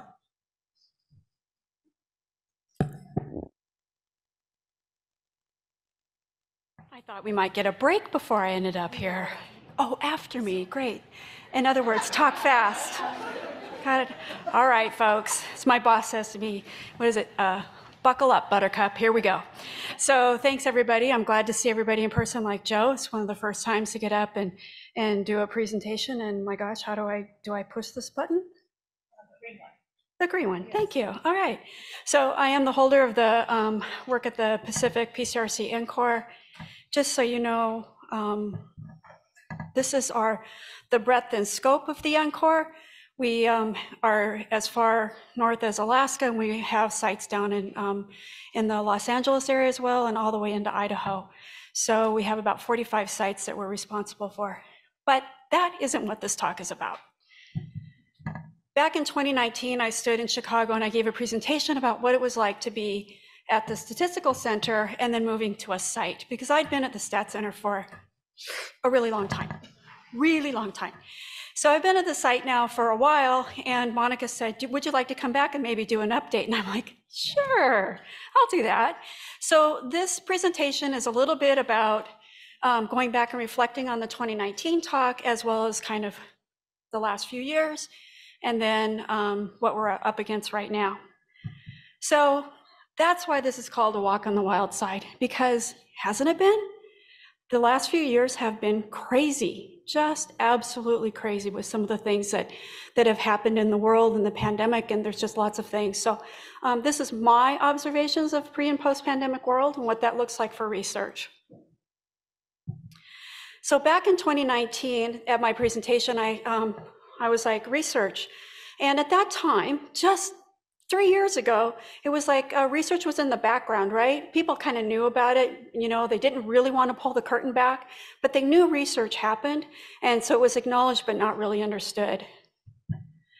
In 2019, my worries were that we had a very mobile society. There were a lot of expectations about the type of work and the kind of work that people would do, the salary requirements, turnover. Um, and we talked about how turnover makes me grumpy. Uh, now, the, the turnover still kind of makes me grumpy, but I have a little bit more anxiety with that grumpiness as well. Um, and then all the training that we had to do training, training, training all the time. From the, the provider perspective, I was really worried about new physician engagement. What did it look like in order to bring new physicians, new providers into um, research and getting them to understand the need for research um, at various, you know, whether it's a, within a research base or if it's through pharmaceutical or sponsored studies, but how important it was to continue the torch that so many before them have, have, um, have carried. And then I also worried about the value research brings to our hospitals and to our community, because a lot of times our hospitals, even in 2019, we're really looking at the at the dollar, the dollars that were being brought in, and research doesn't necessarily come with a lot of money attached to it. And in fact, for many institutions, it's it's a loss leader. It's good for our patients, but it not is not necessarily good for your for your bottom line and for your budget. But it's still very important. So in 2019, um, from enrollments from NCORP sites, I, I, tend to look at be kind of um, NCORP sites um, centric because that's where I'm I'm housed and I'm located. So in 2019, at the end of at the end of the year, we ended enrollments at 2,083. Um, and Monica asked me to say that um, let's be inclusive. So um, so NCORP studies from SWOG sites all sites was 2258 in 2019. So pretty good, pretty good enrollments, right? And then this happened, okay? this happened. Now, who would have thought this would have happened, right? And um, I still like this one, but I add the letter C in front. It's now it's can't wait till Friday. I mean, I just feel like that every every day, right?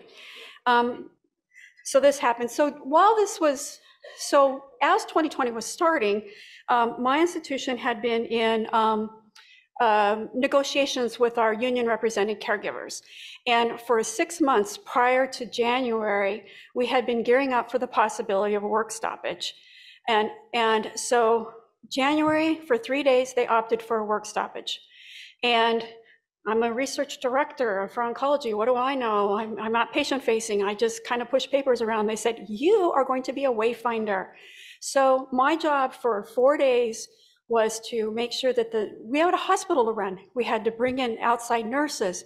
We had to bring in our environmental services. Anybody who was represented by the union needed, we needed to backfill. So I became a, a, a wayfinder for patients, a wayfinder for nurses who had, who had come in from um, Louisiana and New York and other places. We, had, we have a 16 block campus. So I had to help them find their way. Um, and it was a three day work stoppage and, and it really, it was, it was um, incredible in a lot of ways, but it was, um, uh, in the end, it was it was fine. It wasn't wasn't anything like you hear on the news all the time with really crazy things happening. It worked out. Everything was okay. So that was middle of January, and then by February we started hearing about people getting sick, and we and and Washington State, in particular, the Seattle area became the epicenter. It wasn't the cruise ships anymore. It was Washington State. We became ground zero. And um, I don't know. Um, I think New York was the next place but we knew things were happening. Um, our hospital started seeing people, sick people coming in. Um, Our governor on March 23rd issued a stay-at-home order. Our freeway system in Seattle is terrible. You can't get, I live 25 miles away, it takes me an hour and a half to get to work. It, I made it in 25 minutes um, because there was nobody left on the road. I was like, this is cool, you know? And, um, but yeah, again, they said, hey, Vaughn, you did such a great job being a wayfinder. Um, we are going to turn you into an entry control point person for our main hospital. Awesome. So I became a COVID screener. I became an enforcer. Um, I don't know how many of your hospitals share things with you, but I was on, I was considered frontline at that time. Um, and there's this thing that young pe- people like that I don't know much about, and it's called TikTok. And um, so we would have um, groups of four to six young people try to break through our control points to get to our units to be able to take pictures of the um, the people who were dying in the hospital. And um, we got really good at being able to watch them. And there were two of us in particular that she and I would say, we go, here they come. And so we'd split and try to, to make it to the, so that they didn't make it to the elevators. It was really hard. We also became support for hospital staff who were day in and day out were just not doing well because they were frontline. I was not frontline. They were. They were watching these patients. They had nothing they could do. Um, and this gal that I worked with, I came, I was walking down the hall, was on my way home, and um, she was curled up in a ball, um, sitting on the side of a, a windowsill. She was just sobbing. And I asked her what was wrong. And she said, um, I'm 19 years old. I was hired as a Starbucks barista. And she says, I have, I have helped um, deliver babies in the roundabout in front of the hospital. I've had to hand, hand to people bags of clothing where their loved ones have died where they didn't get to say goodbye. And she said, and we still don't know. We still don't know. And I'm scared. And, and I gave her a hug against the rolls, gave her a hug and said, We're in this together. We're going to be okay. I'm in research. We are going to fi- figure this out. And um, it was just um, an, an amazing thing and one of, one of, a very hard thing for me to do to step out of that box, not be a nurse, not necessarily really appreciate being frontline for um, pa- uh, public, um, but I did it, and so did she, and, and we did make it through. My journey for our oncology program was also um, not quite as tense, but I, we also had to make decisions, right? Um, all but essential surgeries were halted um, across the board in Washington state by governor mandate. Um, we had no interventional radiology support, so we couldn't even do any of the, uh, the testing, the eligibility testing that's required for many of our studies. And then um, we had to create a research priority system whereby only the patients who had no other option were, would be able to be enrolled on a clinical trial. So this typically ended up in the phase one area where they'd gone through multiple other um, research um, protocols and other treatments, and, and this was sort of a last ditch for them. So we set up a panel to, for this uh, priority system to, to figure out and we'd have to, for our uh, support, we'd have to reach out. Do we have interventional radiology? Do we have ability in a, um, for an inpatient bed? Do we, can we keep, make sure that this research patient stays safe? Um, and so we ended up um, with that priority system, but we had to halt most of the NCORP studies. The NCORPs were starting to get the COVID studies on board, so we did participate in those. But there was a time when we just we would quit, we just couldn't do it. Um, and then we had to pivot, right? It was a it was a um, a public health crisis, and so we stopped pursuing any of the studies that we were uh, already involved in, and we had to turn and pivot and do COVID. And so my team had to learn about uh, again all the things of the PPE, all the gear, the COVIDs, the um, everything that um, that they had put into into place to keep COVID researchers safe. Um, my team was doing as well, um, and I'm you know forever grateful for everything that they tried to do. For NCI, CTEP, DCP, we hear a lot of things about um, how our government institutions and our government structures don't ha- ha- really help us sometimes. They knocked it out of the park for us. So thank you for to our colleagues. They went to work right away. They said, telehealth, you guys got it. Remote consent process, as long as you do it in conjunction with your, your informed consent process, way to go, let's do that. You want to need to use your uh, current uh, local health care for continuity of care, let's do that. Shipment of oral agents, we're going to work with that. Um, Use of APPs, that's opened up a whole new opportunity for us as we're, as we're not seeing enough providers really to be able to see our, our, our patients. Spanish consent forms, they're still working out those things and giving us translations and, and different um, consent forms and things in other languages that are empowering us to do our jobs more. So I just, you know, shout out to Dr. Mooney and um, Dr. McCaskill Stevens for even making this possible and for everything else back at um, NCI that, that you think of. So thank you.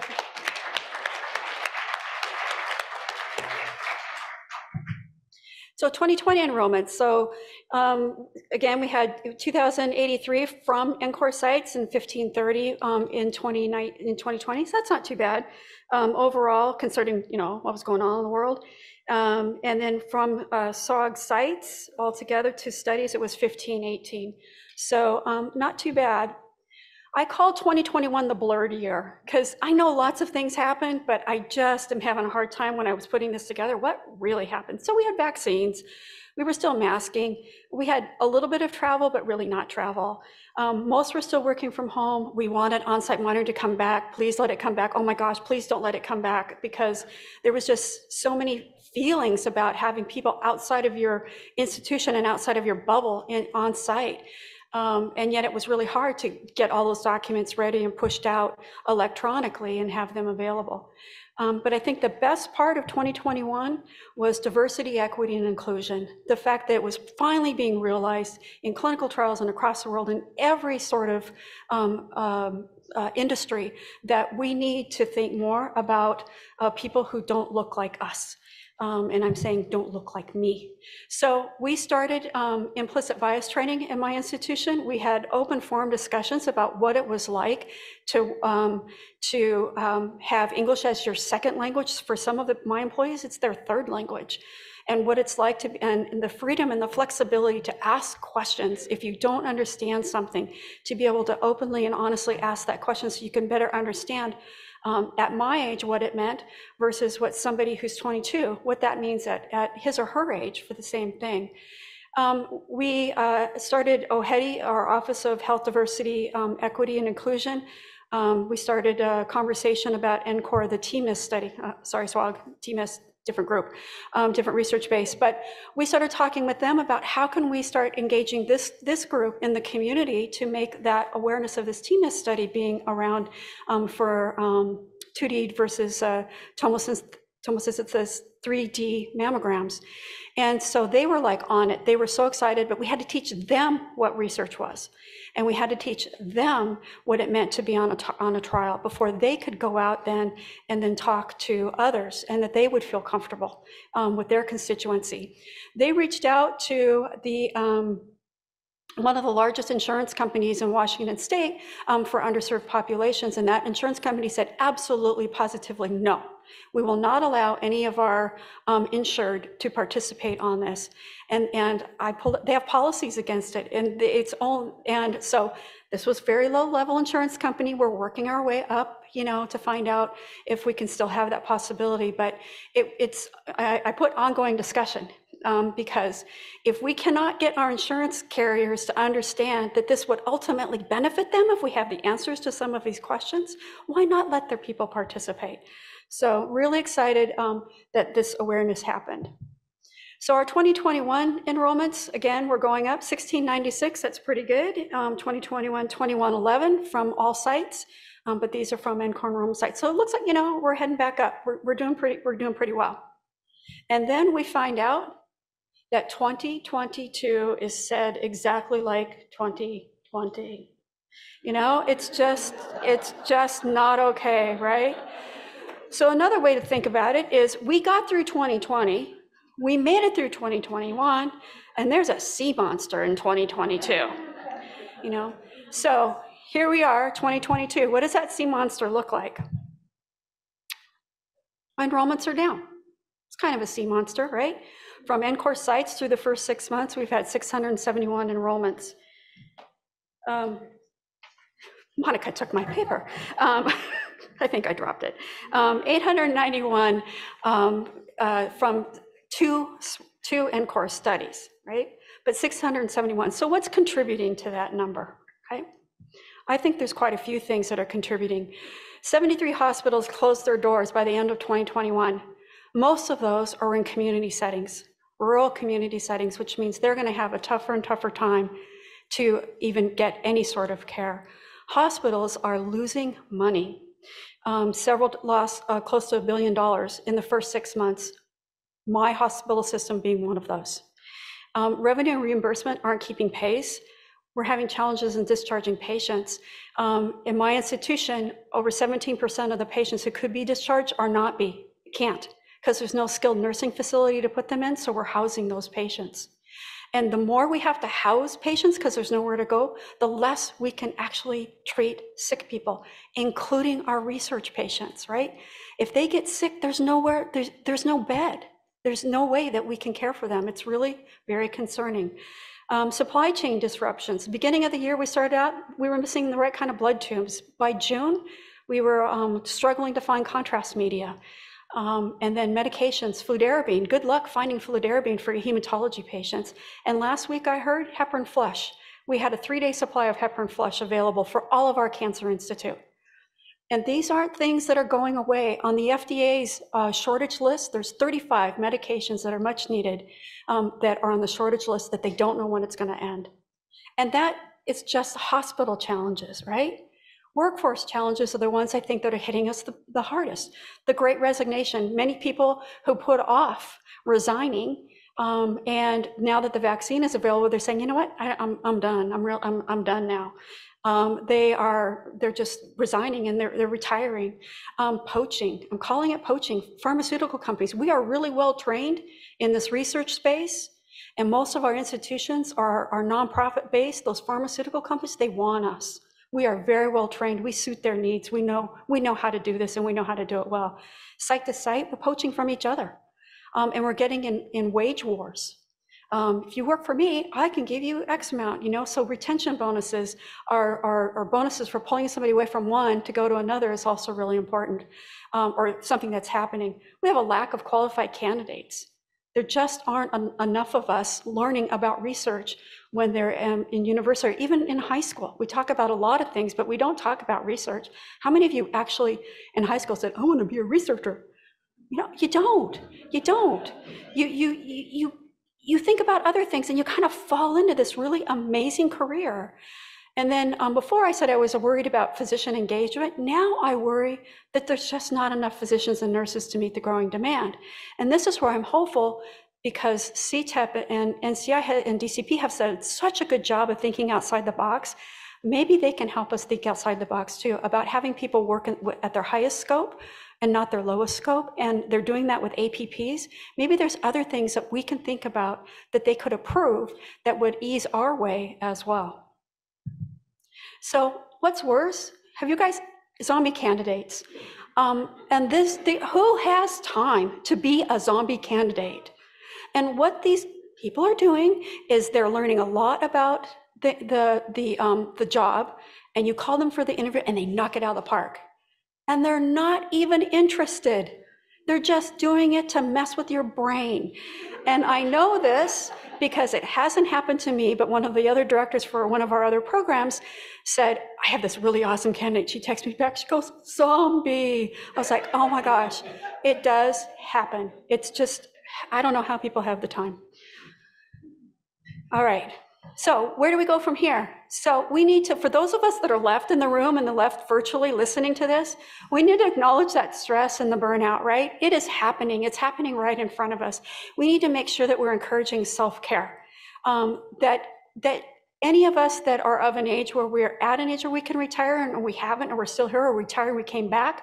Um, we need to make sure that we have succession planning. There's, I think, a huge gap between people like me who have been in this in this working in this field now for a very long time um, to those that only have two or three years of experience. We've got to help to train them and mentor them into this amazing field.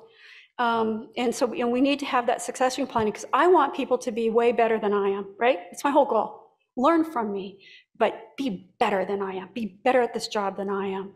Um, so take advantage of the SWOG mentoring program. I put Christine's name on here. Phyllis um, is not in the room, and Christine's in the back of the room. Uh, we're having a little bit of a changeover in our mentoring program, but uh, Donna Mero used to be the person you would contact. She is retiring as of next month. Way to go, Donna. Um, and um, but if you want us to come to your site, if you're, if you're on site, we'll travel. We will join your all staff meetings. We'll put together anything that you want us to talk about, um, forms, quality of life, windows. Um, there are things, uh, statistics. We do a statistics course. And the thing is, we try to make it fun so people will go, yeah, this is why I'm doing this. I'm hurrying, Monica. So pandemic challenges and opportunities. Um, so morale, you're going to have a lot of morale problems. We've had, had the same thing. We do a Feel Good Friday. Um, we highlight one staff member per week on a Friday. Um, it's just like a one-page thing about who they are, what they do, why they do it. Um, we do Schwartz rounds quarterly. There was one last night. Um, and it was uh, about using um, interpreter services and the struggles that uh, non-English speaking patients have with care. They might sign a consent form in a, a, short form or a consent form, even if you have it translated in their language, but they don't know what to do when they start having um, adverse events and there's nobody around. That becomes hard for them. So what are the types of challenges that, that patients might have um, during their, the course of their care? Or maybe an extra question about that if we were able to do some of the quality of life in different languages. Um, we do a book club we talk about what it's like to be an extra introvert in an extrovert's world. Um, we talk about what it's like to be uh, gender different, or um, the LGBTQ um, population. Um, we just we do all kinds of things, and then we do outdoor events. We've done baseball games, we've gone to museums, we've gone to parks, we've done things indiv- uh, individual people's houses, but they've all been outside to make sure that people feel comfortable. Um, for staff retention, um, staff retention, um, we do, we've done uh, revisions to our onboarding process. What are the things that you really liked? What are the things that made, that were not so good that we need to improve upon? Um, we do open forum every other Friday. They can, um, I hold a forum where they can come and they can ask me any question. And that might have to do with um, how the hospital is administered. Um, it, I oftentimes don't have the answers to that, but I know how to get the answers to, for their questions. Uh, we, when we hear somebody say, wow, gosh, I really messed up that, um, that SAE. I, I didn't do it quick enough. So we said, great, we're going to teach everybody. If you, if you maybe had a problem with that, that means other people are as well. So we do lunch and learns, and they're not really lunchtime because nobody, so we try to, you know, figure out the best times. Uh, institution has offered retention bonuses. Um, we do life work balance, not work life balance, life work because life comes first for everybody, right? So we want to make sure that everybody is um, well as at work and well at home. And we allow people to have that flexibility to do what they need. And we have a hybrid work model. So if you're patient facing and you have a patient in that day, we expect you to come and take care of that patient. Um, if you, and then you can go home if you can finish your work from home. Um, but we typically, um, we encourage people to be on site between one and three days. They don't have to be if they don't have any patients. If they're completely not patient facing, they're data facing, they don't have to come in. But we're finding more and more people are starting to come back into the office because we are a strong, small, tight knit community. So where do we go from here from protocol development? Really look at eligibility, look at your, um, when things are being developed, this is for the, for those of you from the SDMC and the, and make sure before you turn out a protocol that it is really as close to being as perfect as can, because by the time, every time you do a new amendment, it, it costs us time and energy and effort. Um, and so we want to make sure that everything that we need is there from the, how the protocol is developed to the forms design and continue what you're doing now for research awareness. SWOG's doing a really good job of that with the uh, plain language writer. And as well as I think Dr. Dyson just um, is uh, equity and inclusion new committee. So I think SWOG is doing a good job at, at keeping that research awareness across all communities, which I really appreciate. So I'm almost done. So life's most persistent, urgent question is, what are you doing for others? I don't want any of you in the room or virtually ever to think in your job that you're not doing anything for anybody else. Maybe you only do look at that data. Maybe you, maybe you don't see that patient directly. Maybe you're a scheduler, but everything that you do matters. You are helping with respect. You're improving science. You're increasing knowledge. You are participating in clinical trials. You're helping people with choice. We are making groundbreaking um, teaching and learning about groundbreaking decisions so that people like, like Joe um, can do the statistics behind we can, you know, figuring out what works for people in EPRO. We're finding out EPRO doesn't work for all populations. Who, who would have known had our patients and had we not been a part of that? So never, never, never let anybody say to you that you're not making a difference in somebody's life in research. And even if they don't participate on a research trial, you have changed their life too because of the research you have done. So even though a trial might be negative, it's one, it's okay because that means that wasn't a good option for the rest of the population. The next trial might be. So never, ever, ever think that you're not contributing. And with that, happy Wednesday.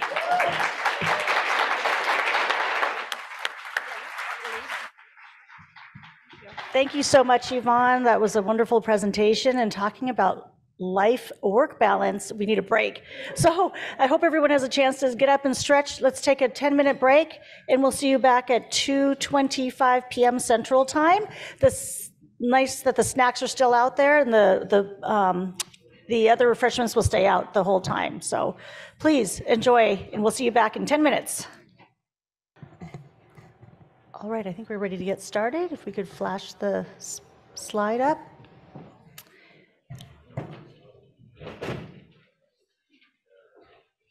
Our next presentation is entitled NCORP Briefs, Trial Spotlight from the Data Coordinators at the Statistics and Data Management Center.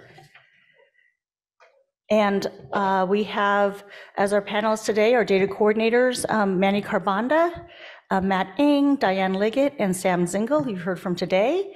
Uh, Roxanne Tapaccio is uh, online right now. There she is. And there is Kim Carvalho, who will be our facilitator. Thank you, Monica. Uh, can everybody hear me okay? Yes. All right. Yes. Data coordinators, or DCs, act as the bridge between sites and study teams. While our day-to-day activities usually involve evaluating incoming study data and acting as reference resources to sites, our jobs truly begin when an investigator brings a new concept to SWOG. As NCORP DCs, we work with several committees, such as cancer care delivery, prevention and epidemiology, symptom control and quality of life, and palliative and end-of-life care. We work hand in hand with investigators, statisticians, programmers, protocol project managers, and quality assurance auditors during the protocol development period. Our job as part of this protocol protocol development process is to act as stand-in for CRAs and other site staff. We speak with sites every day, which gives us the most up-to-date information on what is and is not working for activated studies. Today, I would like to introduce you to a few of our DCs from the SWOG Statistics and Data Management Center here in Seattle, and hopefully help match faces to the names that have haunted your query reports. Each of the participating DCs will have a brief summary of their active, in development, and recently closed studies. Dr. Hershman previously mentioned these studies, and you can find more information on the SWOG NCORP research-based clinical trials active studies handout you received at the start of the workshop or online through the SWOG uh, webpage. My name is Kim Carvalho, and I have been with SWOG for about seven years. Currently, I work on S1823, which based on our fast accrual numbers may be familiar to many of you. The very short version of what we're doing is that we're working on developing a new method of detecting early stage germ cell tumors using a biomarker called miRNA 371. If this biomarker proves to be an accurate early predictor of germ cell tumors, then it will revolutionize the treatment and management of germ, cell tumors. Patients could be spared the cost and impact of repeated imaging and instead use this potential biomarker in conjunction with standard lab assessments. We have very quickly accrued 599 patients as of this morning um, out of our goal of 956, but we welcome any and all new sites that wish to register patients. We have also recently submitted a protocol revision to DCP that will incorporate changes that should reduce the participation burden for everyone involved. I am uh, also involved in the development of a study that has not yet activated, S2010, or comparing active symptom monitoring versus patient education in young women with breast cancer. Active symptom monitoring is a short weekly questionnaire asking the patients to rate the severity of their symptoms. Which can be sent to patients via email or text message or an automated voice system. The system will then alert a site that a patient's side effects have reached a certain severity threshold and require follow-up by a provider. Studies hoping to show that if medical providers address patient symptoms quickly, within days versus weeks, then patients will stay on endocrine therapy longer. If you're interested in participating in this study, please reach out to us or Dr. Lynn Henry and Dr. Hershman. Thanks, Kim. I'm Roxanne Tapascio, and I began with SWOG in 2005 and later moved on to SELECT, the selenium and vitamin E cancer prevention trial. I now work on SWOG NCORP trials in prevention and cancer control. Sam and I share data management of S1501, which is under the Cancer Survivorship Committee. This study asks if adding a blood pressure medication, carvedilol, to HER2 targeted therapy might reduce the risk of cardiac toxicity in patients with metastatic HER2 positive breast cancer. Participating sites must validate their local echo lab to S1501 before being cleared to enroll. Validation basically entails completing a successful upload of two test echoes to the S1501 Echo Core Lab just to be sure that the uploads meet the study specifications. Once the local lab is validated, patients may be screened for eligibility and those moving on to the randomization step are followed for 108 weeks. The study has enrolled 284 participants, just 35% of the planned accrual of 817. S1501 is actively accruing, and we need your help to meet this goal. Participation is open to all institutions via SWOG, Alliance, NRG, and E ECOG-ACRIN. S1820 is under the Palliative Care and End of Life Committee. The accrual for S1820 has been met and all participants are in follow-up. This study looks at whether a telephone-based dietary behavioral coaching intervention might help rectal cancer survivors who report struggling with post-surgical bowel symptoms. The primary endpoint for S1820 is the patient-reported outcomes, and participants receive 10 telephone calls administered by trained health coaches at the University of Arizona Diet Center. The intervention arm delivers targeted coaching calls on diet modification, addressing the participants' specific bowel symptoms, while control arm participants receive coaching calls on healthy living education. Coaching call intervention for both arms occurs over approximately 16 weeks, and the study team is looking forward to beginning analysis after the final subjects complete the intervention this November. Thank you, Roxanne. I'm Monica Yee, and I'm a project director for NCORP Data Management and also a data coordinator for S0820, the PACES trial. When you came in, you might have picked up some uh, sticky notes that have adenoma on it or polyp. Uh, we are, uh, as far as this study, we activated in 2013. So if you're looking for a trial, to help complete, this is the one. There's no, doesn't hurt to have a little healthy competition here. We're in the Prevention and Epidemiology um, Committee at SWOG. So we also call ourselves PACES, Preventing Adenomas of the Colon and Rectum with eflornithine and sulindac. The study is a phase two trial, double-blind, placebo-controlled prevention um, and, and epidemiology committee trial, as I mentioned, and it hypothesizes that the combination of eflornithine and sulindac will be effective in reducing a three-year event rate of adenomas and second primary colorectal cancers in previously treated stages zero to three colon or rectal cancers. This study is 88% of its accrual goal, and we need your help to accrue only 47 more participants. It's open to all sites. And uh, so let's complete this trial together. We also have those sticky notes, so please feel free to grab some of those for uh, as many as you want to take back to your office, because you'll want to take those back to Seattle with us. And uh, thank you very much for uh, your participation today and on any of our trials. Thank you, Monica. My name is, make sure you guys can hear me here. Um, My name is Diane Liggett, and I've been in clinical research at SWOG for 24 years. I am currently the data coordinator for two active studies. The first study is S1703, This study currently is randomizing patients with metastatic hormone receptor positive HER2 negative breast cancer. We are asking if using serum tumor markers or STMs will affect overall survival compared to the usual care of monitoring the patient's disease with regular imaging. We are also evaluating if STM monitoring is associated with reduced patient scan anxiety, improved quality of life, and lower cost of cancer care compared to usual care. This study is in the Cancer Care Delivery and Breast Committees. It is open to all networks. We have accrued 18 to 19%, so there's still a lot of opportunity for sites to help boost accrual along with Monica's. As of Monday, we have 367 patients registered out of the 1,320 patients needed for step one. There are 236 patients randomized out of the 1,056 patients needed for step two. To promote this study, we have created a patient flyer, a patient-friendly study summary, and social media toolkit. My newly activated study is S2108CD.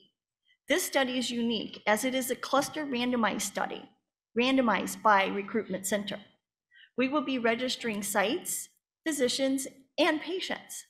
This study compares physicians that receive advice from a centralized structured genomic tumor board plus educational materials, or EGTB, to the sites with physicians using usual practice.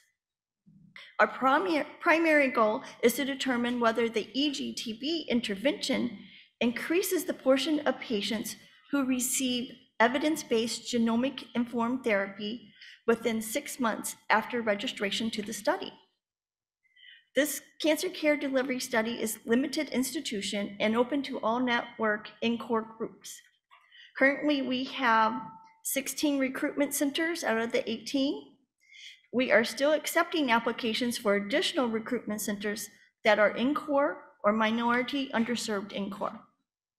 Our goal is to register 126 physicians and 1,182 patients. Finally, detailed information will be presented tomorrow at the S2108CD update meeting. If you are interested in learning more, please join us.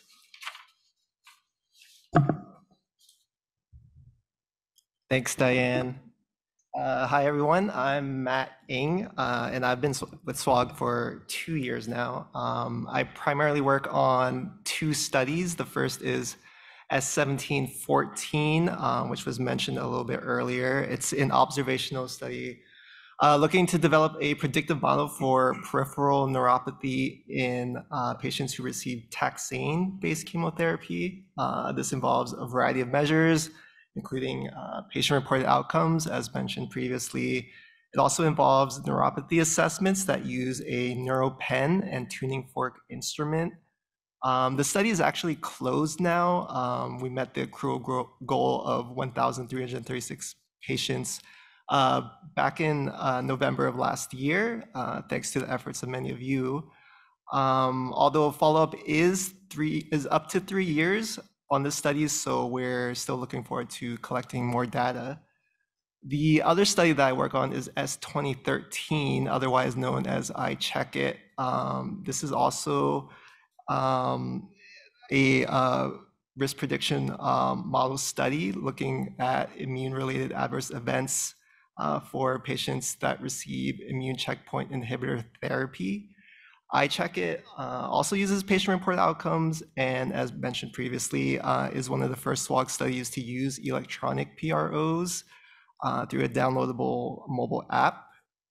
The study opened just last year in August with a planned total accrual of a little over 2,000 patients. The current number is 469, so we are accruing uh, pretty quickly.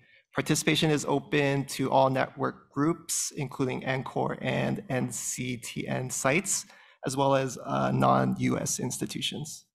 And with that, I'll pass it off to Manny. Hello. Hello. I am uh, Manny Carpenter. I'm a, I've been with SWOG for four years. Uh, I've been with this team for four years. Just became a data coordinator early this year in January, so learning everything that comes with the job. Uh, currently, I work on S1600 with Roxanne Tapascio, who's on the left side of the screen. Uh, it's a trial that evaluates the effect of immune-enhancing study drinks on cystectomy outcomes. Currently, there are 150 patients enrolled out of a possible 200, uh, which is the goal, so about 75%. And the goal of S1600 is to compare the impact of uh, consumed study drinks on postoperative complications within 30 days of a radical cystectomy. Uh, some examples of post-op complications are stuff like uh, quality of life and uh, infections. So S1600 is currently only a US study, and the uh, organizations it includes is SWOG, ECOG NRG, and Alliance. And then I'm also working with on uh, I'm also working on S2205 with Matt right here, which is uh, currently in development and opening early next year. Yeah, the study is a randomized trial of limb cryocompression for the prevention of taxane-induced peripheral neuro neuropathy. That's a lot of words. Uh, S2205, uh, once the study activates, the plan is to enroll 777 patients. So currently it's not activated. Uh, S225's goal is to compare the different uh, the different compressions that will be used to see if they can prevent peripheral neuropathy.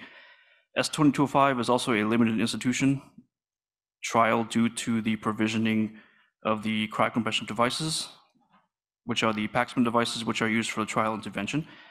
S2205 is also a US study only, and the participating organizations are SWOG, Alliance, and NRG.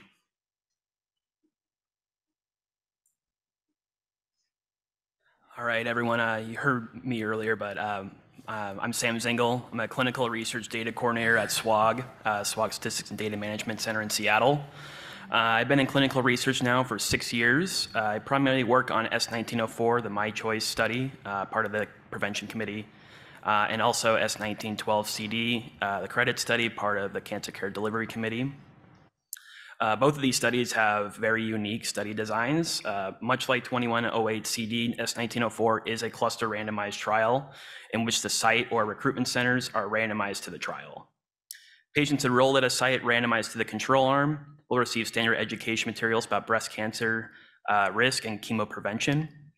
Patients enrolled at the intervention recruitment center will receive the standard education materials as well as web-based decision support tools. All patients enrolled uh, in S1904 will have a six-month visit with their provider. S1904 is limited institution because of the cluster, it is cluster randomized. Um, the study was designed to have 13 recruitment centers at each arm. We've enrolled, all 26 now. Uh, 217 patients have been enrolled of the planned 415, so we're past the 50% mark. And we're still, and we're looking to have accrual closed uh, later in 2023. Um, S1912 CD credit, the credit study looks to provide patients with financial education materials and services so that, that they may better navigate the financial and emotional burden that can come with cancer treatment. Uh, with support from our financial counselors at the Consumer Education and Training Services Program, also known as CENS, as well as support from the Patient Advocate Foundation, patients and their partner caregiver, that are randomized to the intervention arm will have financial education materials as well as the personalized financial navigation coaching. Patient reported outcomes are a large component of measuring financial hardship for the patient caregiver dyad in the study. Uh, because this study is part of the Cancer Care Delivery Committee, registration is limited to NCORP affiliated or sub-affiliated sites. One of the unique features of this study in particular is that it requires two separate registrations in open uh, one for the patient and one for the partner caregiver, and then linking the two in open. Currently, there are 46, uh, 46 dyads that have been enrolled of the 536 dyads uh, planned. That's, so that's around 9% of total accrual. Uh, so we are actively looking for participants to this trial. So if you're an NCORP site, uh, please consider S1912CD. Thank you. Thanks, guys. Um, we hope that you have a better understanding of who we are and what function we serve in the larger SWOG research group. As data coordinators, we're passionate and invested these, in these trials as well. Trials that can seem daunting due to how unique each and every one is. whether we're investigating the impact of financial toxicity or looking into ways to alleviate taxane-induced peripheral neuropathy. Our goal through all of these studies is to provide you with the information you need to successfully open and run NCORP studies at your sites and to support you through the uh, life of the trial. We may not have all the answers, but we usually know who does. So please reach out to us as your first point of contact at cancer control question at crab.org. For those of us in Chicago, we hope to meet many of you in person over the next few days. We look forward to working with you to complete these important SWOG and core trials and look forward to any future ideas you may bring to us. Thank you. Great, thank you. Thanks, Kim. Thank you, everyone. Any questions that we have for our data coordinators? Like Kim mentioned, we are the face uh, behind the cancer control question at crab.org. Um, being your liaison between uh, the study team and, um, and you has been a real pleasure. But let us know if you have any questions. You can always reach out to us also at cancer control at crab.org. All right. So I'd like to introduce next Brenda Adjei. She's a public health advisor and a program director of the NCORP at NCI in uh, cancer care delivery. And she will speak to us about NCORP disparities integration efforts, learning within and across the network.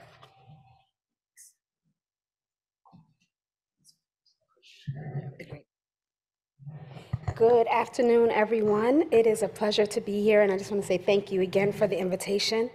I'm going to tell you just a little bit about me. Um, as Monica said, I'm a program director um, in the uh, Office of the Associate Director at NCI in our Healthcare Delivery Research Program. And I'm engaged in a, a few of our uh, equity centered um, research um, initiatives. I'm also a CCDR advisor for uh, many of the um, NCORP sites and the MU sites. Um, and I also have two research bases, so I work more closely with COG and ECOG-ACRIN.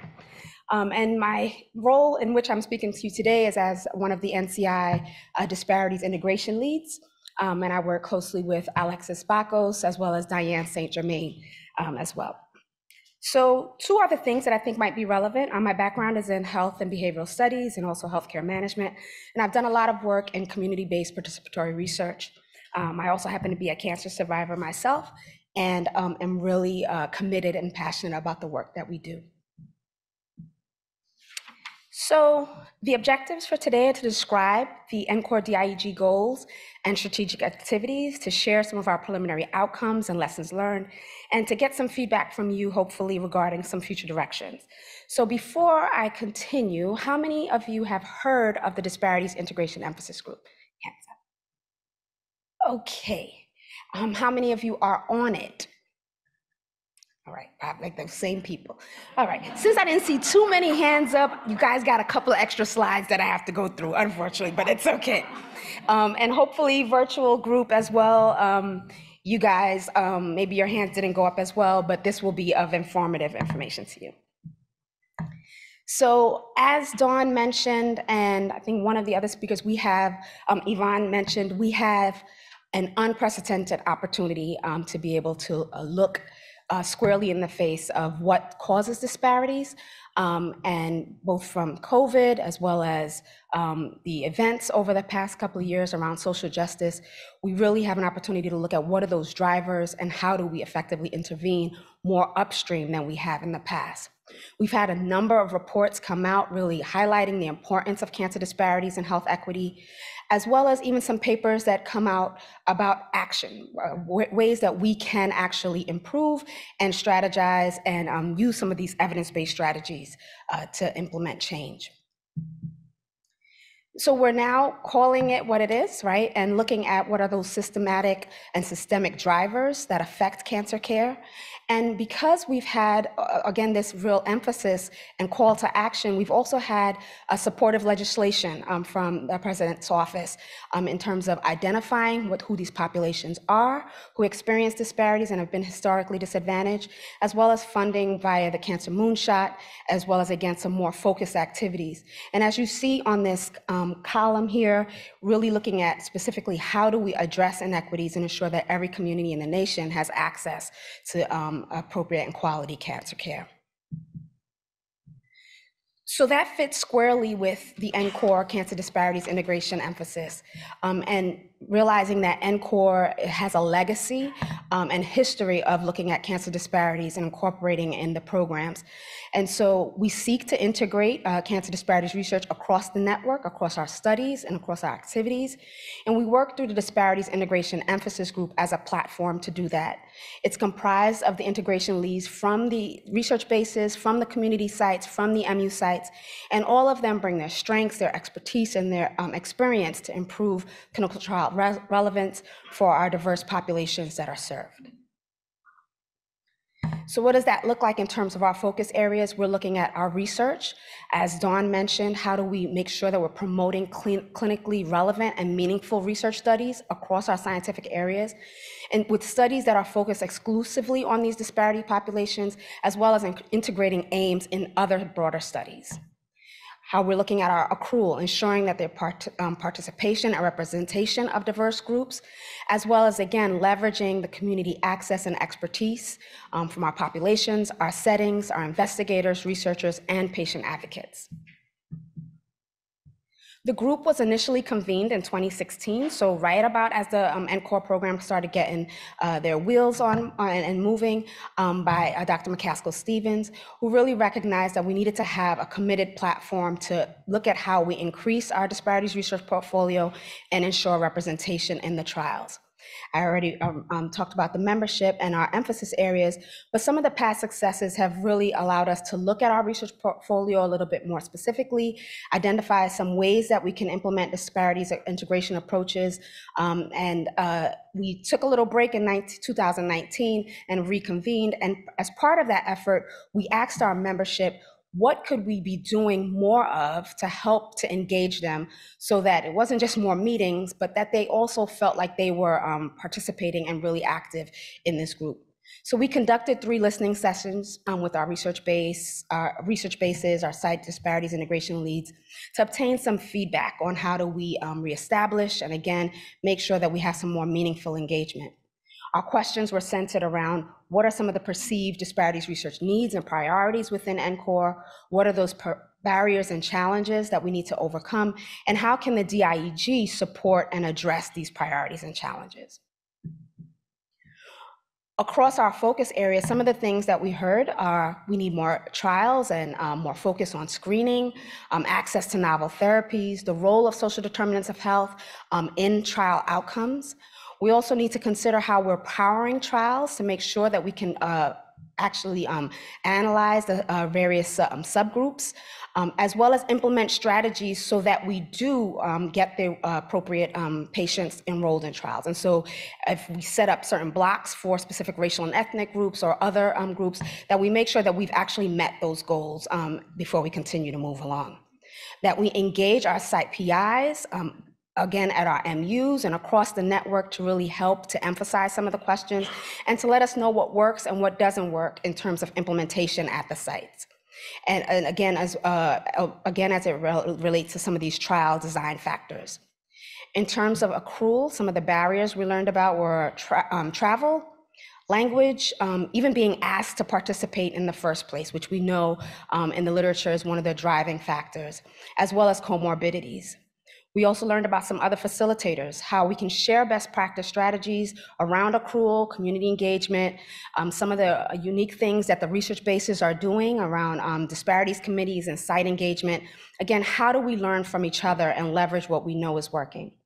And we also got some feedback that was also very important around some of the overlap around some of these emphasis areas and making sure that we had measurable objectives so that we know that we're actually achieving what we set out to achieve. And so that's been kind of our strategy, if you will, for how we're moving forward in this current year um, and into the next um, cycle as well. So I want to talk to you today about two of our strategic activities, um, the portfolio analysis as well as our resource matrix. Um, we recently had a research studio um, which I see Melissa is here, um, and she had a very active role in that activity. Um, and I think that we're learning more about how to use that platform in addition to and to complement some of the activities that are happening at the research bases to engage uh, diverse perspectives and how to ensure that we're able to meet their accrual needs, understand what those barriers are, and implement some strategies. What I want to talk to you a little bit more about is our self-examination and evaluation of our current NCORP research portfolio, as well as our attempts to uh, create a repository of disparities resources um, for the network as well. So our portfolio analysis, um, a little bit about the aims and approaches. Um, we started off with a pilot just to kind of see how can we identify the studies that are disparities relevant and um, to identify the related research gaps within the portfolio. So that might seem like a very easy thing, but believe me, nothing is that easy, right? Um, so we really had to manually curate and look through these um, protocols to see who were the target um, uh, populations, what was the background and rationale that really led to um, uh, the implementation of these studies, and to create some uh, metrics on, and some monitoring procedures in NCI so that we can flag and then pull out which those studies are. We also um, identified some, some characteristics that we wanted to use to describe the portfolio of disparities relevant research, and then think about how do we move forward in terms of identifying some areas of growth. The approach was that we looked at all of our protocols approved between 2014, the inception of the program that were active, um, as well as through April um, 2021. Uh, we focused on populations of interest, um, and we just really looked at the titles and abstracts of our protocols and included studies that had a primary, again, studies that are specifically looking at disparities research questions in the population, and those that have embedded aims um, secondarily in the studies.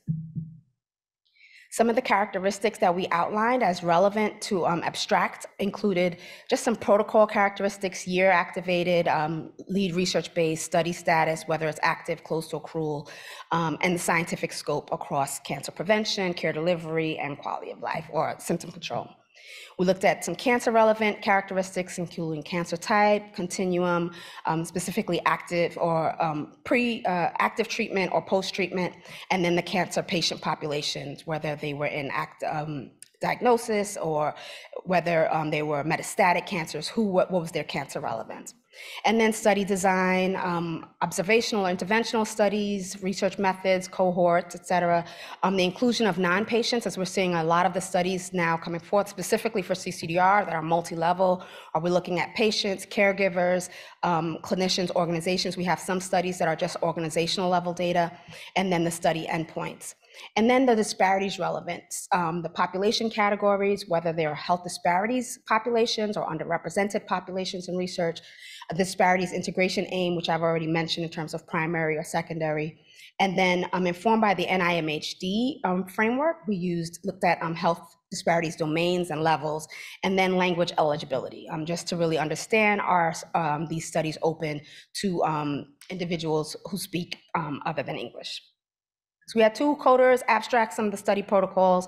We discussed um, our disagreements, and then I want to share uh, some of the descriptive statistics. And again, this is a pilot, but really kind of helps us to establish the procedures for how we'll move forward. And one of our fellows um, actually presented um, some of this data at the recent AACR conference. So some of our preliminary findings, we had 31 of 101 protocols meet inclusion criteria. Uh, 25 had a primary uh, uh, integration aim, meaning that they, again, these were studies that are predominantly in that population, um, and six who had secondary aims. Um, in terms of our populations represented, 11 were uh, racial and ethnic minorities, low socioeconomic status, rural, um, and, and those are NIH health disparities populations, and 20 looking at um, underrepresented, so predominantly um, older adults, AYA, and we did have one study that was looking at um, health literacy as a medically underserved population.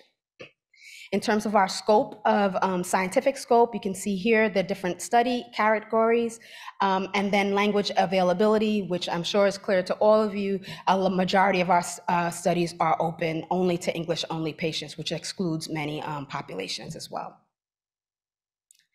Some other findings, um, so most of our studies are focusing on multiple or any cancers. Um, and for those that were looking at a single cancer, um, most of them were breast. Um, common cancer-related outcomes were really focused around adverse events and toxicities, and most of the patients um, were in active treatment. Uh, it was kind of a split between observational and interventional studies, and most were looking at um, individual um, as well as interpersonal um, uh, level studies and a few and multiple um, levels of influence. So some of the things that we're learning and able to take away from this examination within, um, again, establishing a process to identify and describe our, our portfolio and assess related gaps. Um, we're happy to see that a large number of our studies had um, disparities relevant approaches and focused on several populations of interest.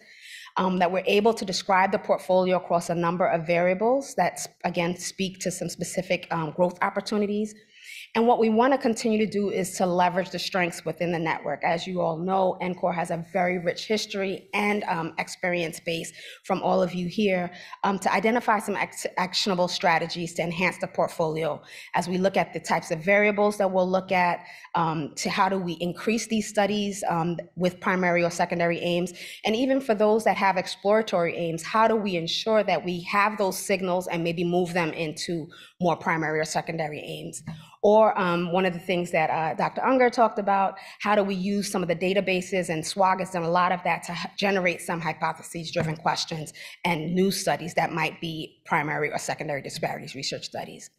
How do we look at um, work across NCI to expand uh, uh, language availability and to engage early stage and MU site investigators to generating those questions um, that may, may be of relevance to these populations? So I'm going to transition now to the resource metrics. So hopefully if you guys have thoughts and comments about the portfolio analysis, please um, keep that in mind, write them down, and so that we you don't forget them as we move into a totally different um, topic. So the resource matrix uh, was, a, was a, also a strategy to help us think about how can we share what's been happening what many of you have developed locally within your institutions, within your NCORPs across the network. So we wanted to create a repository of um, disparities focused resources, um, expertise, and other assets, and to get feedback about how to better understand what the NCORP sites and resources, um, research bases have, need, and might contribute in um, support of the DIEG goals. So we convened a resource matrix um, uh, subgroup um, and asks a lot of questions about need, scope, who's the intended audience, the content, organization of this matrix, who's going to use it, um, and support um, for this proposed platform. We defined some matrix examples as well as drafted a resource information document to help us um, think about, again, what do sites have, need, and want to see in this um, platform. And we're planning to focus that right now on the administrators. And I also want to thank and shout out Ms. Kamara uh, Mertz Rivera, uh, who is our co-chair for that group as well. So the draft uh, resource um, information document, the purpose is it really is a brief survey of the sites and research-based administrators. And we recognize that those resources are going to be different at the sites as well as the research bases.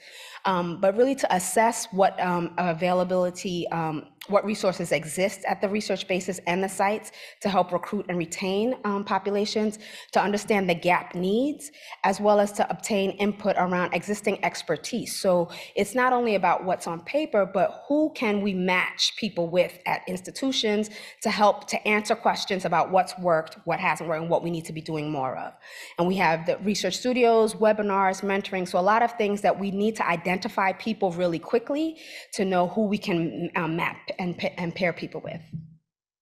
So just quickly in terms of resources, we're defining them as any tools, resources, expertise, instruments that might help to facilitate uh, the recruitment, retention, and engagement um, activities and aspects of um, NCORP. Um, and though these are the categories that we're looking at, and um, some examples from written to community partners, community advisory boards, patient advocates, presentations, and publications. Um, and I was happy to get um, some examples from Monica um, from SWOG and some of the things that you guys are doing. And again, you guys know more about these activities than I, but I just kind of tried to plop them in some of our broader categories around trainings and webinars, some of the best practices that some of the other research bases might want to learn from. And um, I also learned at one of the uh, last meetings about how you use your patient advocates and some of the specific expertise that they bring to um, the research uh, questions um, that you guys are engaged in. So how do we then leverage this um, to again learn across the network? Um, some of the work that we've already done is, you know, again, defining these resource categories, types, and examples. We're going to be leaning on our research administ our administrators uh, to help us with um, completing and receiving and responding to the RRI. Um, and we have a plan for how to systematically categorize and code some of these resources. And for some of you, how many of you have heard of AccrualNet? that used to exist.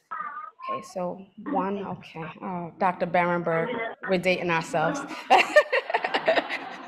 so um, we're hoping to use a similar type platform or some type of organizational framework and not build from scratch to help us think about how do we um, manage um, these resources that come in.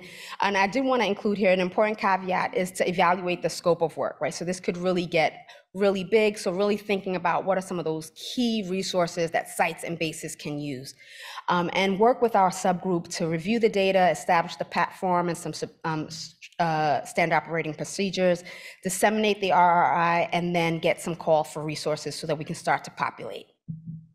Um, so this is just a, a, screenshot of some of the systematic coding that we might employ. Um, and this I borrowed from our AccrualNet and some of our other NIH um, resource repositories. I want to thank our resource matrix um, and a special thanks also to Monica and Dr. Allison Caden Holt for inviting me uh, and to be able to share a lot of this work. Um, and just some closing thoughts. And I think uh, just hearing the presentations from today we know um, it, it just kind of reflects SWOG and, and NCORP as well. If you want to go fast, go alone. If you want to go far, you go together. Um, and then I also found this by Judge Jones what gets measured gets done, what gets measured and fed back gets done well, and what gets rewarded gets repeated. So I thought those were two good ones to really guide the work that the Disparities Integration Emphasis Group is trying to move forward in all of our work as well. So I want to say thank you and um, look forward to hearing any feedback you might have on how we could continue this work. Thank you.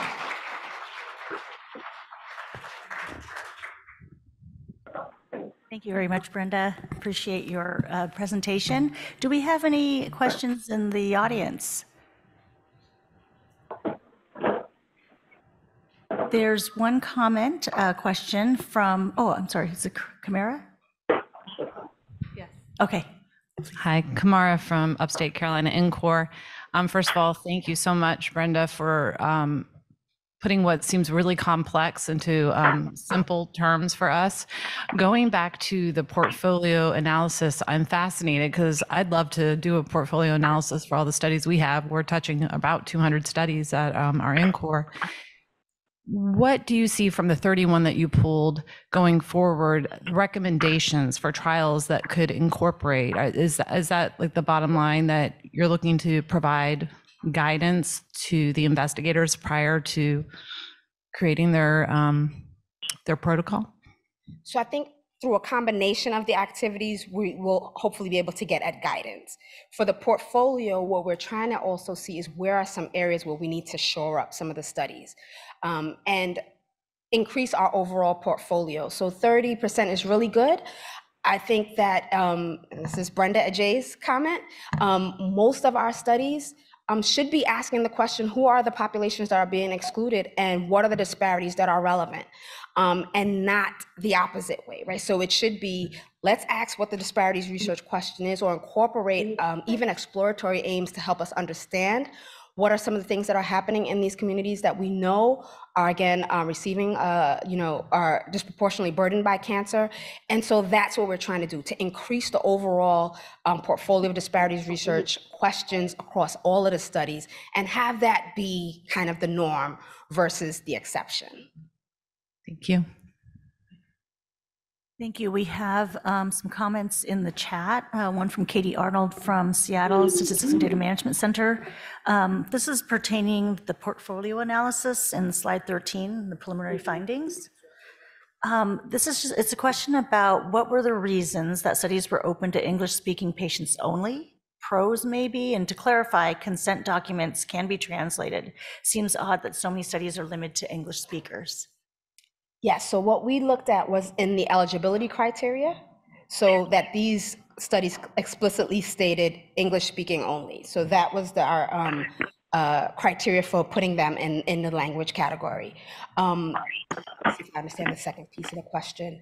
Um, while we do have the ability to provide the short-term consent, we know that uh, these questionnaires are not available, so it does limit people's participation in the study. If they don't understand what the study is about, they don't have the interpreter. So I think what we want to do is, again, try to think about ways that we can be more inclusive. I recognize that there are um, resources that are needed to be able to do a lot of this work, um, but I think that's part of our work as well to understand what those strategies are. Diane St. Germain at um, NCI has been doing a lot of that work around language accessibility. And so just thinking about what else can we be doing um, so that we are more Yeah, inclusive. Mama, get this cut. So hopefully that answers your question, uh, Ms. Arnold. Yeah, thank you very much. I'm um, Yeah, I'm gonna cut let's Is there another question? Thanks, Manny. Careful. Oh, whoa, whoa, whoa, whoa. You okay? Mommy's butt. You okay? Thanks so much, Brenda, for that wonderful talk. I have a question on one of the slides. You talked about disparities integration on trials. What does that mean? Like, so what does that look like? Does it look like they, can you break that down a little bit? Yeah. So what we're talking about when we're talking about di- primary disparities, so that we define that as the study is open, it's primarily targeting a research question in a specific population that is either uh, NIH health disparities population or underrepresented in research.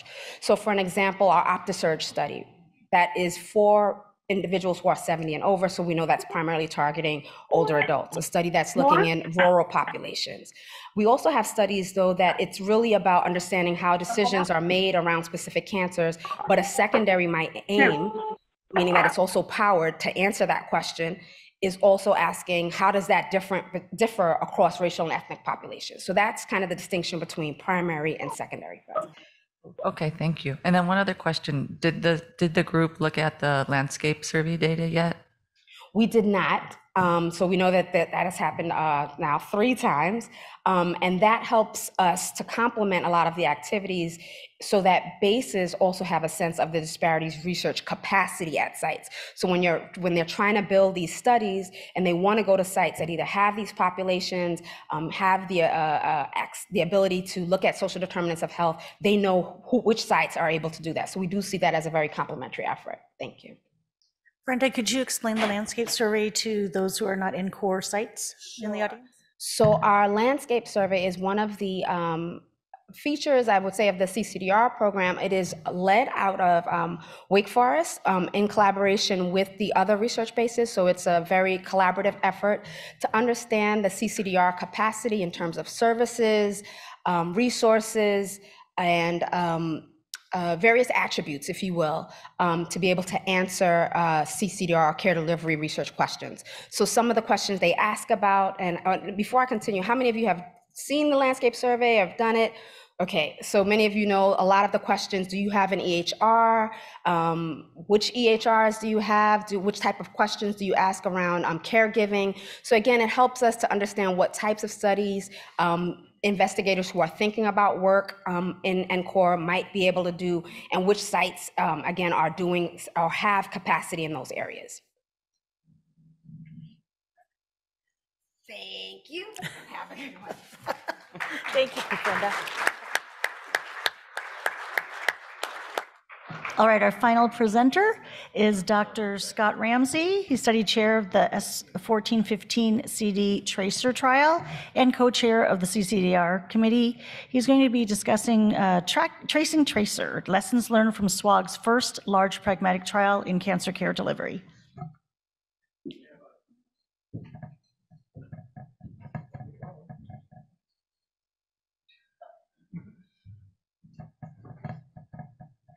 All good? All right. Thanks. Hi, everybody. I know I'm your closer today, so I'm going to try to keep this a little bit fun and move through it so we can uh, move on to the next set of things we're doing here uh, at, at the SWOG meeting. But I think you'll find this kind of an interesting uh, overview of what, for me, was a really rewarding, challenging, and interesting trial, uh, TRACER, SWOG 1415 CD. So let me give you a little bit of background on what this was designed to address. So at the time we wrote uh, this study, uh, it was known that uh, primary prophylactic colony stimulating factors like Neupogen and Neulasta were prescribed to patients receiving chemotherapy to reduce the risk of febrile neutropenia. But the way they were being prescribed at the time this trial uh, was started was really not at all in line with guidelines. In fact, guidelines had suggested that 55, or um, studies have suggested that 50 to 95% of patients weren't getting these drugs the way they were recommended in guidelines. And at this point, the guidelines had been out for um, at least 15 years.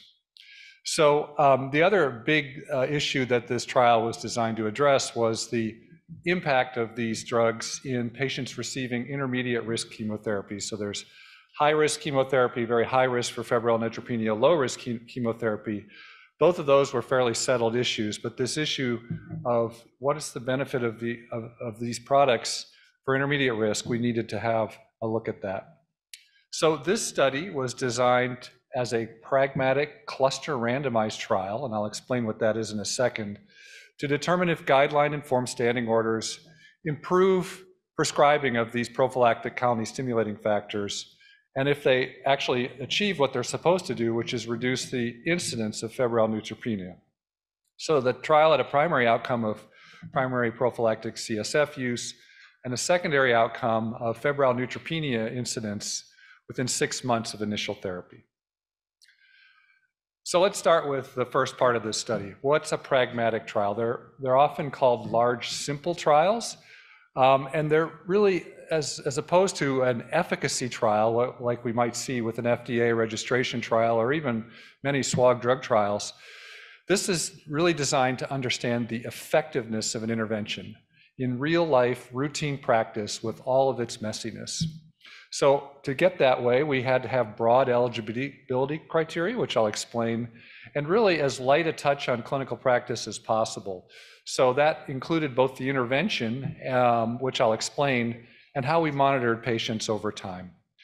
And finally, we want these endpoints to be of interest to practicing doctors. So, you know, they should be able to look at this study and say, oh, I should do this or not do this in my practice. Now, what about cluster randomization? So this is a, a type of randomization scheme where the random randomization unit is the clinic or a larger entity than, than the patient or the clinician. And it's a good choice if it's really hard to do patient level randomization. Uh, it's either infeasible or if there's a real high risk of contamination of randomizing patients within clinics. In other words, you know, doing something to one group would make it really easy to identify, you know, what's going on by the patient and or the clinician in a way that would, you know, kind of make the study uh, potentially contaminated. Now, it's, it's a good approach and it's being used now more and more often in oncology, especially since Tracer, but it's not easy to do cluster randomization. First of all, if you're randomizing at the clinic level, you have to have enough clinics to randomize. And that gets to be a problem um, if there's correlation between patients within sites. And there always is correlation of patients within sites. It's just a matter of degree. That's estimated by something called the interclass correlation coefficient. Um, and the more correlation there is, the larger number of clinics that you would need to test your hypotheses. And as you'll see, we had uh, a lot of clinics in this uh, study, um, and you know, it was it was challenging just to get the clinics that we needed to prove our to test our hypotheses. So this is what the study looked like. This is the study schema. So we started with the NCORP CCDR sites. Um, and we basically divided them into two groups. There were a group that already had automated order entry systems that were designed to, you know, basically give colony stimulating factors based on some algorithm. And so those people weren't eligible for the study because that's what we were testing this algorithm. So we found those sites that had the algorithms and we put them into a cohort. That's over on your left-hand side. And those that didn't have algorithms, we randomized three to one into usual care, which is just keep doing what you're doing, or an intervention, which is where we actually went in and modified their electronic health records to add alerts for the uh, patients to receive or not receive these colony stimulating factors based on the regimen that the, the doctor typed into the order system. Um, and you can see we had eight sites in usual care. We had three times as many in the intervention. There were 13 sites in the cohort group. But we also had a second sub-randomization within the intervention. And this one was to test this hypothesis about the benefits of these drugs in intermediate risk chemotherapy. So if patients were receiving intermediate risk chemotherapy, they were randomized to one of two arms. And one arm was basically that the orders auto-populated colony stimulating factors. And everyone in that in those clinics got it. Um, now the physician could override that order, but it was put in there as, as a matter of course. In the control arm, there was an alert that came up say, suggesting not to do, not to put in colony stimulating factors, and it wasn't auto-populated. But again, the physician could override that at their discretion. So what we ended up needing for all of this was 90 patients per site. That would give us 80% power to test the hypothesis that we'd reduce the FN febrile neutropenia risk from uh, in half, from 15% to 7.5. Um, and I won't go into the analysis here. We can talk about that later if you're interested. So what were the results? Uh, and I'm happy to say that these are going to be coming out this month, I believe, in, in a JCO and JAMA Network Open. Um, so we ended up recruiting uh, 3,600 uh, patients, over 3,600, and that was our recruitment goal. And I'll just say as an aside, we did that uh, through the finish line of the COVID pandemic. So I was really um, proud of the clinics for, for finishing this. Um, so these were breast, colorectal, and lung cancer patients. Their average age was 58. You can see the majority um, were breast cancer patients, um, and followed by uh, colorectal and lung cancer patients. Now here's the uh, take home, what we found. So adherence it turned out that adherence was much, much higher than we had estimated. So in the usual care, not doing anything arm, adherence in high risk was 95%. We predicted it would be far lower than hmm. that. Interestingly, in the intervention group, and remember the intervention group got the auto-populated order to put in colony stimulating factors, it was actually slightly lower. So what that meant is the physicians were undoing some of those orders. In contrast, the low risk, again, we saw lots of overuse in low risk in, in prior studies, observational studies. Use of colony stimulating factors in the low risk group was actually quite low. In the usual arm, it was 5.5%. Again, a fraction of what we saw in ob observational studies. Um, and it was actually worse, slightly worse, not statistically worse, in the intervention arm. Again, the doctors had to override and give colony stimulating factors for this low risk population. So ultimately, this part of the study was negative. It, it did not suggest that these order entry systems improve practice. And in fact, practice was already pretty good um, at the time. And we can talk about why that was. Um, we also looked at the febrile neutropenia rates, and they were not st statistically significantly different I will say in the high-risk group, you'll see there, those are pretty small numbers uh, for febrile neutropenia. Again, lots of people getting colony stimulating factors, so they were doing what they were supposed to do, and very low numbers for febrile neutropenia in the low-risk group there on the bottom. So that's the sort of negative aspect, although I, will challenge that a little bit if you want to talk about that. The intermediate risk study was a little more interesting. What we found was that this was 524 patients who received intermediate risk chemotherapy regimens. And what we found is that in the sites that were randomized to auto-populate with colony stimulating factors, there was a much higher likelihood that the doctors uh, would accept that and that there was more prescribing in that arm. Although notice 37.1% is not 100%. So they were overriding these orders as well. But notice in the usual care, where there was an alert not to prescribe, it was much, much lower, 9.9%. But notice the febrile neutropenia rates here. So we est, well, all the guidelines estimate that in this category, the febrile neutropenia rates somewhere between 10 and 20%. We found febrile neutropenia rates that were 3.7%. And in fact, they were similar in both arms, and it didn't matter where the patients got colony stimulating factors or not. It was all in this high 3 to low 4% number, much, much lower than the guidelines had said was the rate in this population. So in summary, we found that these standing orders didn't uh, influence uh, primary uh, prophylactic CSF use, um, didn't increase it in the high-risk group, didn't decrease it in the low-risk group, but it did seem to influence prescribing in this intermediate risk where doctors knew there was some uncertainty. Um, so that kind of suggests to me that in a situation where there's clinical equipoise, these guidelines can have some impact. Um, the, the guideline adherence was better than we predicted, um, and the systems didn't really impact febrile neutropenia, which is what our ultimate endpoint was. All that said, in this intermediate risk group, um, the rates were much lower than we predicted and didn't really differ, didn't matter whether you got colony stimulating factors or not.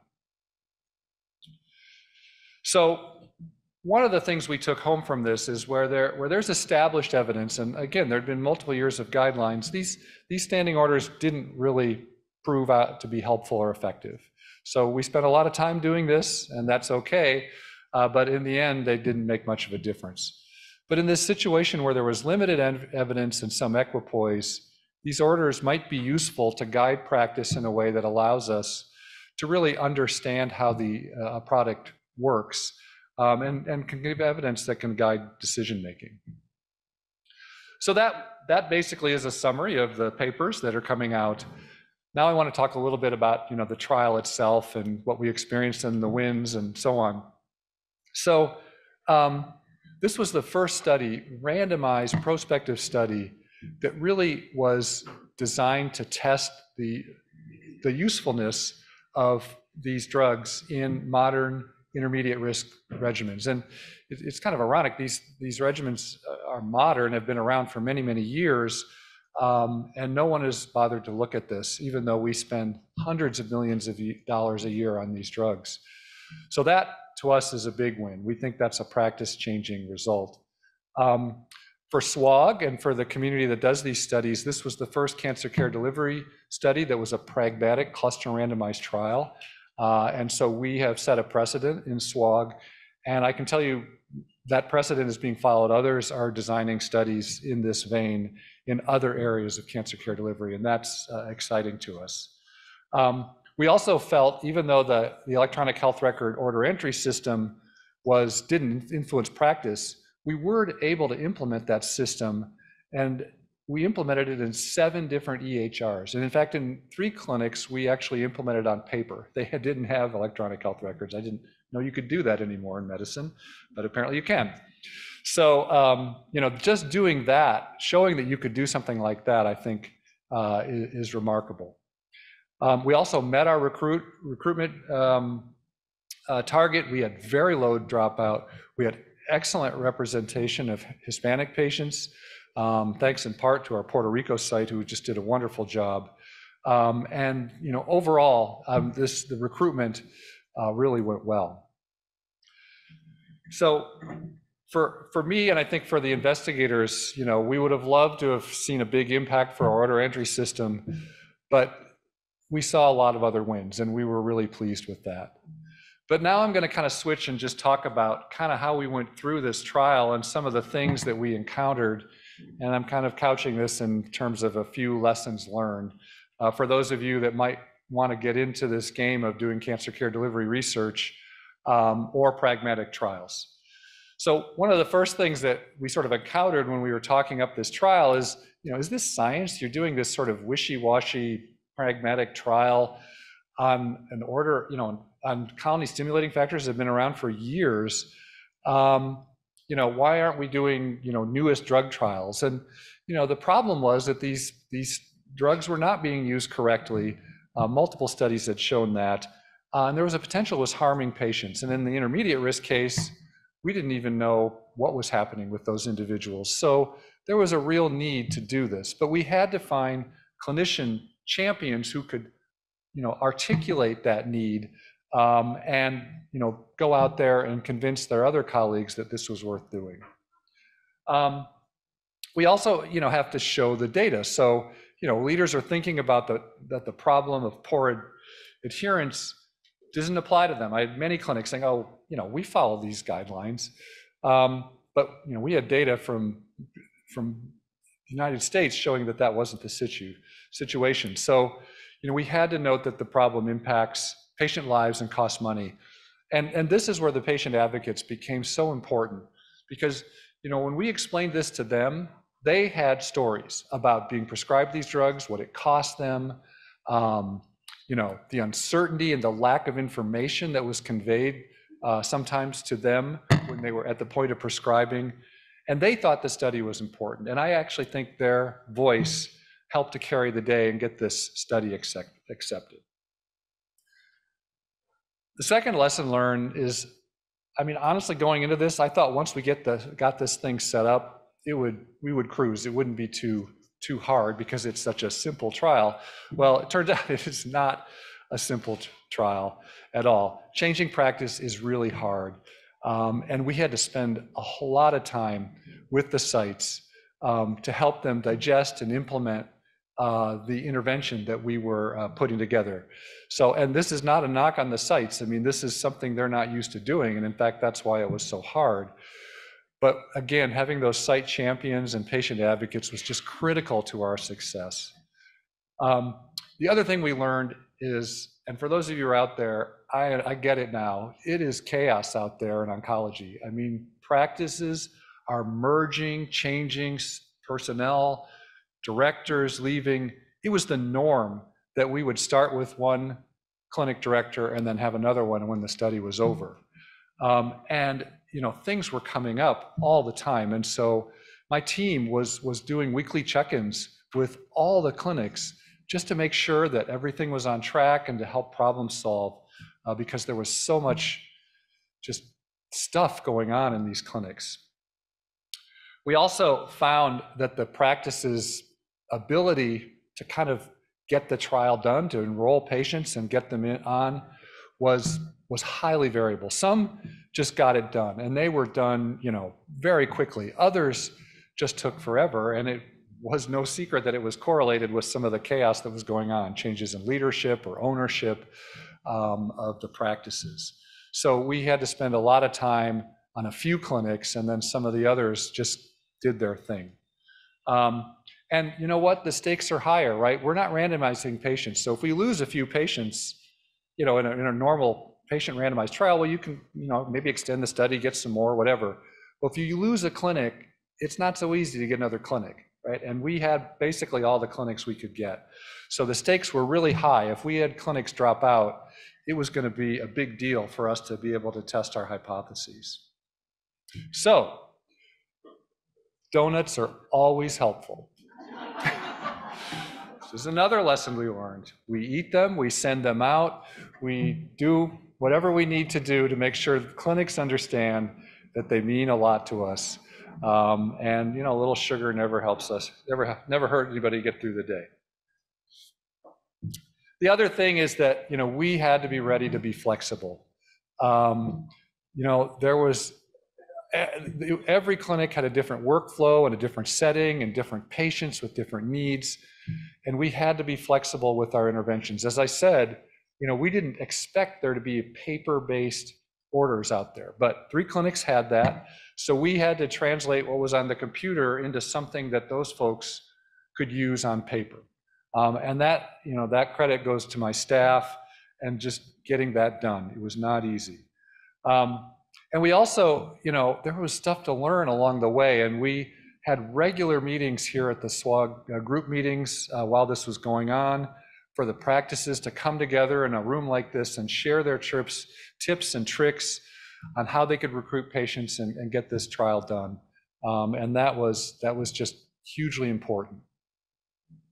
And you know, at the end of the day, getting the sites to participate really made it made it possible. Um, you know, we had 38 NCORP sites and seven minority underserved NCORP sites. uh, that represented 25 US states and territories. Um, Puerto Rico, which was a site, experienced a hurricane, which wiped out their power system during this, and they kept recruiting. I mean, those are the kind of things that we were encountering. Um, but you know, the cluster randomized design, we, we had to have those sites that agreed enroll. And so, you know, it wasn't what's wrong with you. It's like, what can we do for you? It really had to be focused on enabling the clinics to do what you know what they could do to enroll patients. Um, all those intervention intervention sites were able to modify their order systems, um, and that was the site champions, and it was the doctors and the CRAs and everyone else who believed in us that allowed this to happen. Um, and as I said, the NCORP research staff participated in panel discussions and provided feedback. Um, and we actually iterated on the study recruitment materials. You can imagine explaining this study to patients might be a little challenging. Again, our patient advocates had a huge role in explaining the importance. So I think Tracer is going to be influential down the line, yet, yet to be proven because we're just getting out the papers now. Um, I do think on the clinical side, what we found for intermediate risk is it has to change the guidelines because there just isn't as much uh, febrile neutropenia in those uh, for those uh, combination therapies. Um, and I think you know that's going to affect NCCN and, and, ASCO and the others that come up with these uh, guidelines. Um, you know, for health systems, you know, there's a big push to put into these automated order entry sets. I mean, I deal with them in primary care. You guys deal with them in oncology.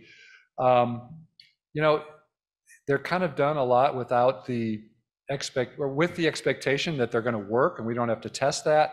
Maybe this will give a little pause before all those resources uh, and frankly, provider time is put into making these changes. Now, I think for those of us in the trial community, SWOG and the other group trials, there were big wins. I mean, this I think is a game changer for adopting the pragmatic trial, mo trial model in, um, in SWOG and the other groups. Um, I have to say, I, I am totally enthusiastic about bringing patients in at the very start of these studies as equal advisors in how to design a study. They, their role was so critical to our success, and I would strongly encourage anyone who's involved in the trial to bring patients in, sit them down, and listen very carefully what they have to say about the situation that you're considering for a trial. And I think for the NCORPs, it, it, it has changed a little bit the idea of what can be done um, in this network. And I think it now is an opportunity for this large network of clinics to get into something that they haven't been done before. I want to give a big thankful thank you to the sites that participated. These are the unsung heroes. Again, they they they put up with a lot with this study while they were dealing with a lot, um, and you know they were the ones who helped us achieve our recruitment goal. And then, of course, um, the chairs, the biostatistical team, we had a group of external stakeholders from around the country that advised us. Again, critical advice at every point. Um, and then our research staff, the folks with me at the Fred Hutch um, and around the country who just got it done. Um, I'm so grateful to them for all they did. Thank you. Thank you, Dr. Ramsey. Uh, Manny, there's a question there from Melissa.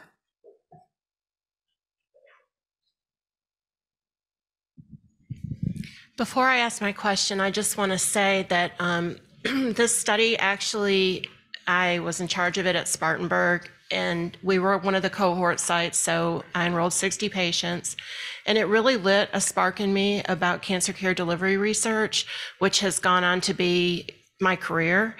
Um, and I just thank you for that because I loved the idea that we could implement evidence-based practice, you know, things that needed to be done, we could study how to implement that. And so thank you for that. But but my question is, I noticed, and I may be looking at this incorrectly, but it seemed like the cohort sites actually had worse uh, worse outcomes, even in the intermediate, which is that statistically significant? Has that been Is there a way to go back? looked at? Can't make this thing. Uh, uh, like, let's go to slide six or so. Well, you're at 20 right now. Yeah, go to six and then. Um, so my recollection was that the cohort site adherence, is- did you say adherence? Well, it looked like um, the patients that had the high um, high risk chemotherapy that their their rates um, of febrile neutropenia were actually worse, and then also the low. Um, so the FN rates was what overall was 6.5% in the cohort versus um, 4.2 in the usual care and 6.1. That was not statistically significant. Is, is that is that what you mean? But see see the cohort. 10 of 121, 8.3%. It's higher than all the rest. And if you look up at the high risk, yeah. um, it, it, it just makes me wonder like, were we doing, you know, why did we have worse outcomes than anyone else? Well, you, you notice that your adherence to CSF use was 93% in the cohort for high risk and 8.3% in the low risk. So it was a little worse than you'd want in co-risk. It was kind of overused, but in the high risk, it was right there in the middle between um, the, inter, the usual care and the intervention. Um, we, uh, we haven't yet really dug deep into the cohort uh, groups to understand what's going on. Um, but our, our first, first, first of all, these numbers were not statistically significantly different. They're numerically a bit different. Um, but what we, um, we haven't really taken away uh, what, what, you know, what really was going on. And, and remember that everybody had a different system and it was all over.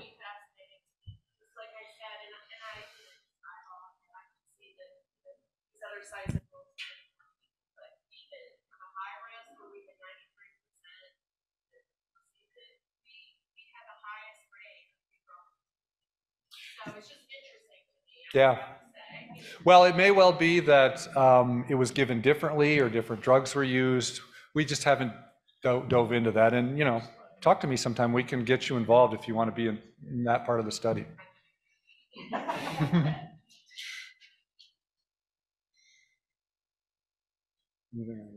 Okay. um, No questions online at all from virtual? I think that's it. Thank you so much.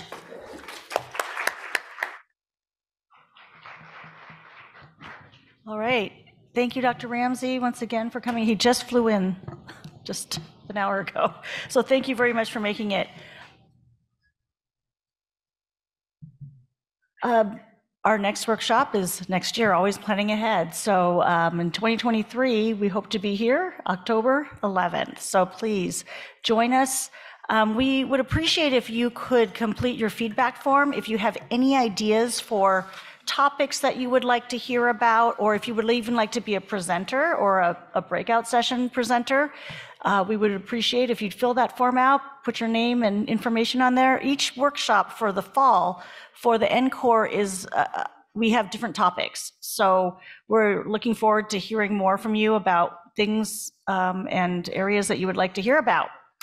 And uh, with that, I think we are uh, done giving you back some life work balance. I would like to encourage all of you in Regency C at 4:30. There's a great um, session that's going to be happening, uh, sponsored by the Recruitment and Retention Committee. It's the Take Action Symposium, which is this time around going to feature three guest speakers on uh, Hispanic, Latinx populations, ensuring equity in clinical research. So you have about 45 minutes to take a break and then head on in there if you can. It's from 4:30 to 5:30. Um, Other than that, we really appreciate everything that you do, echo everything the presenter said today about your participation and your efforts in all of our trials. Reach out to us, talk to us, um, and we look forward to meeting you throughout the session. Please come and talk to our data coordinators. And thanks very much. Have a wonderful rest of the group meeting. Thanks, everybody. oh, yes, and uh, this, evaluation forms, you can just drop them off um, at the front sign-in desk. Thank you.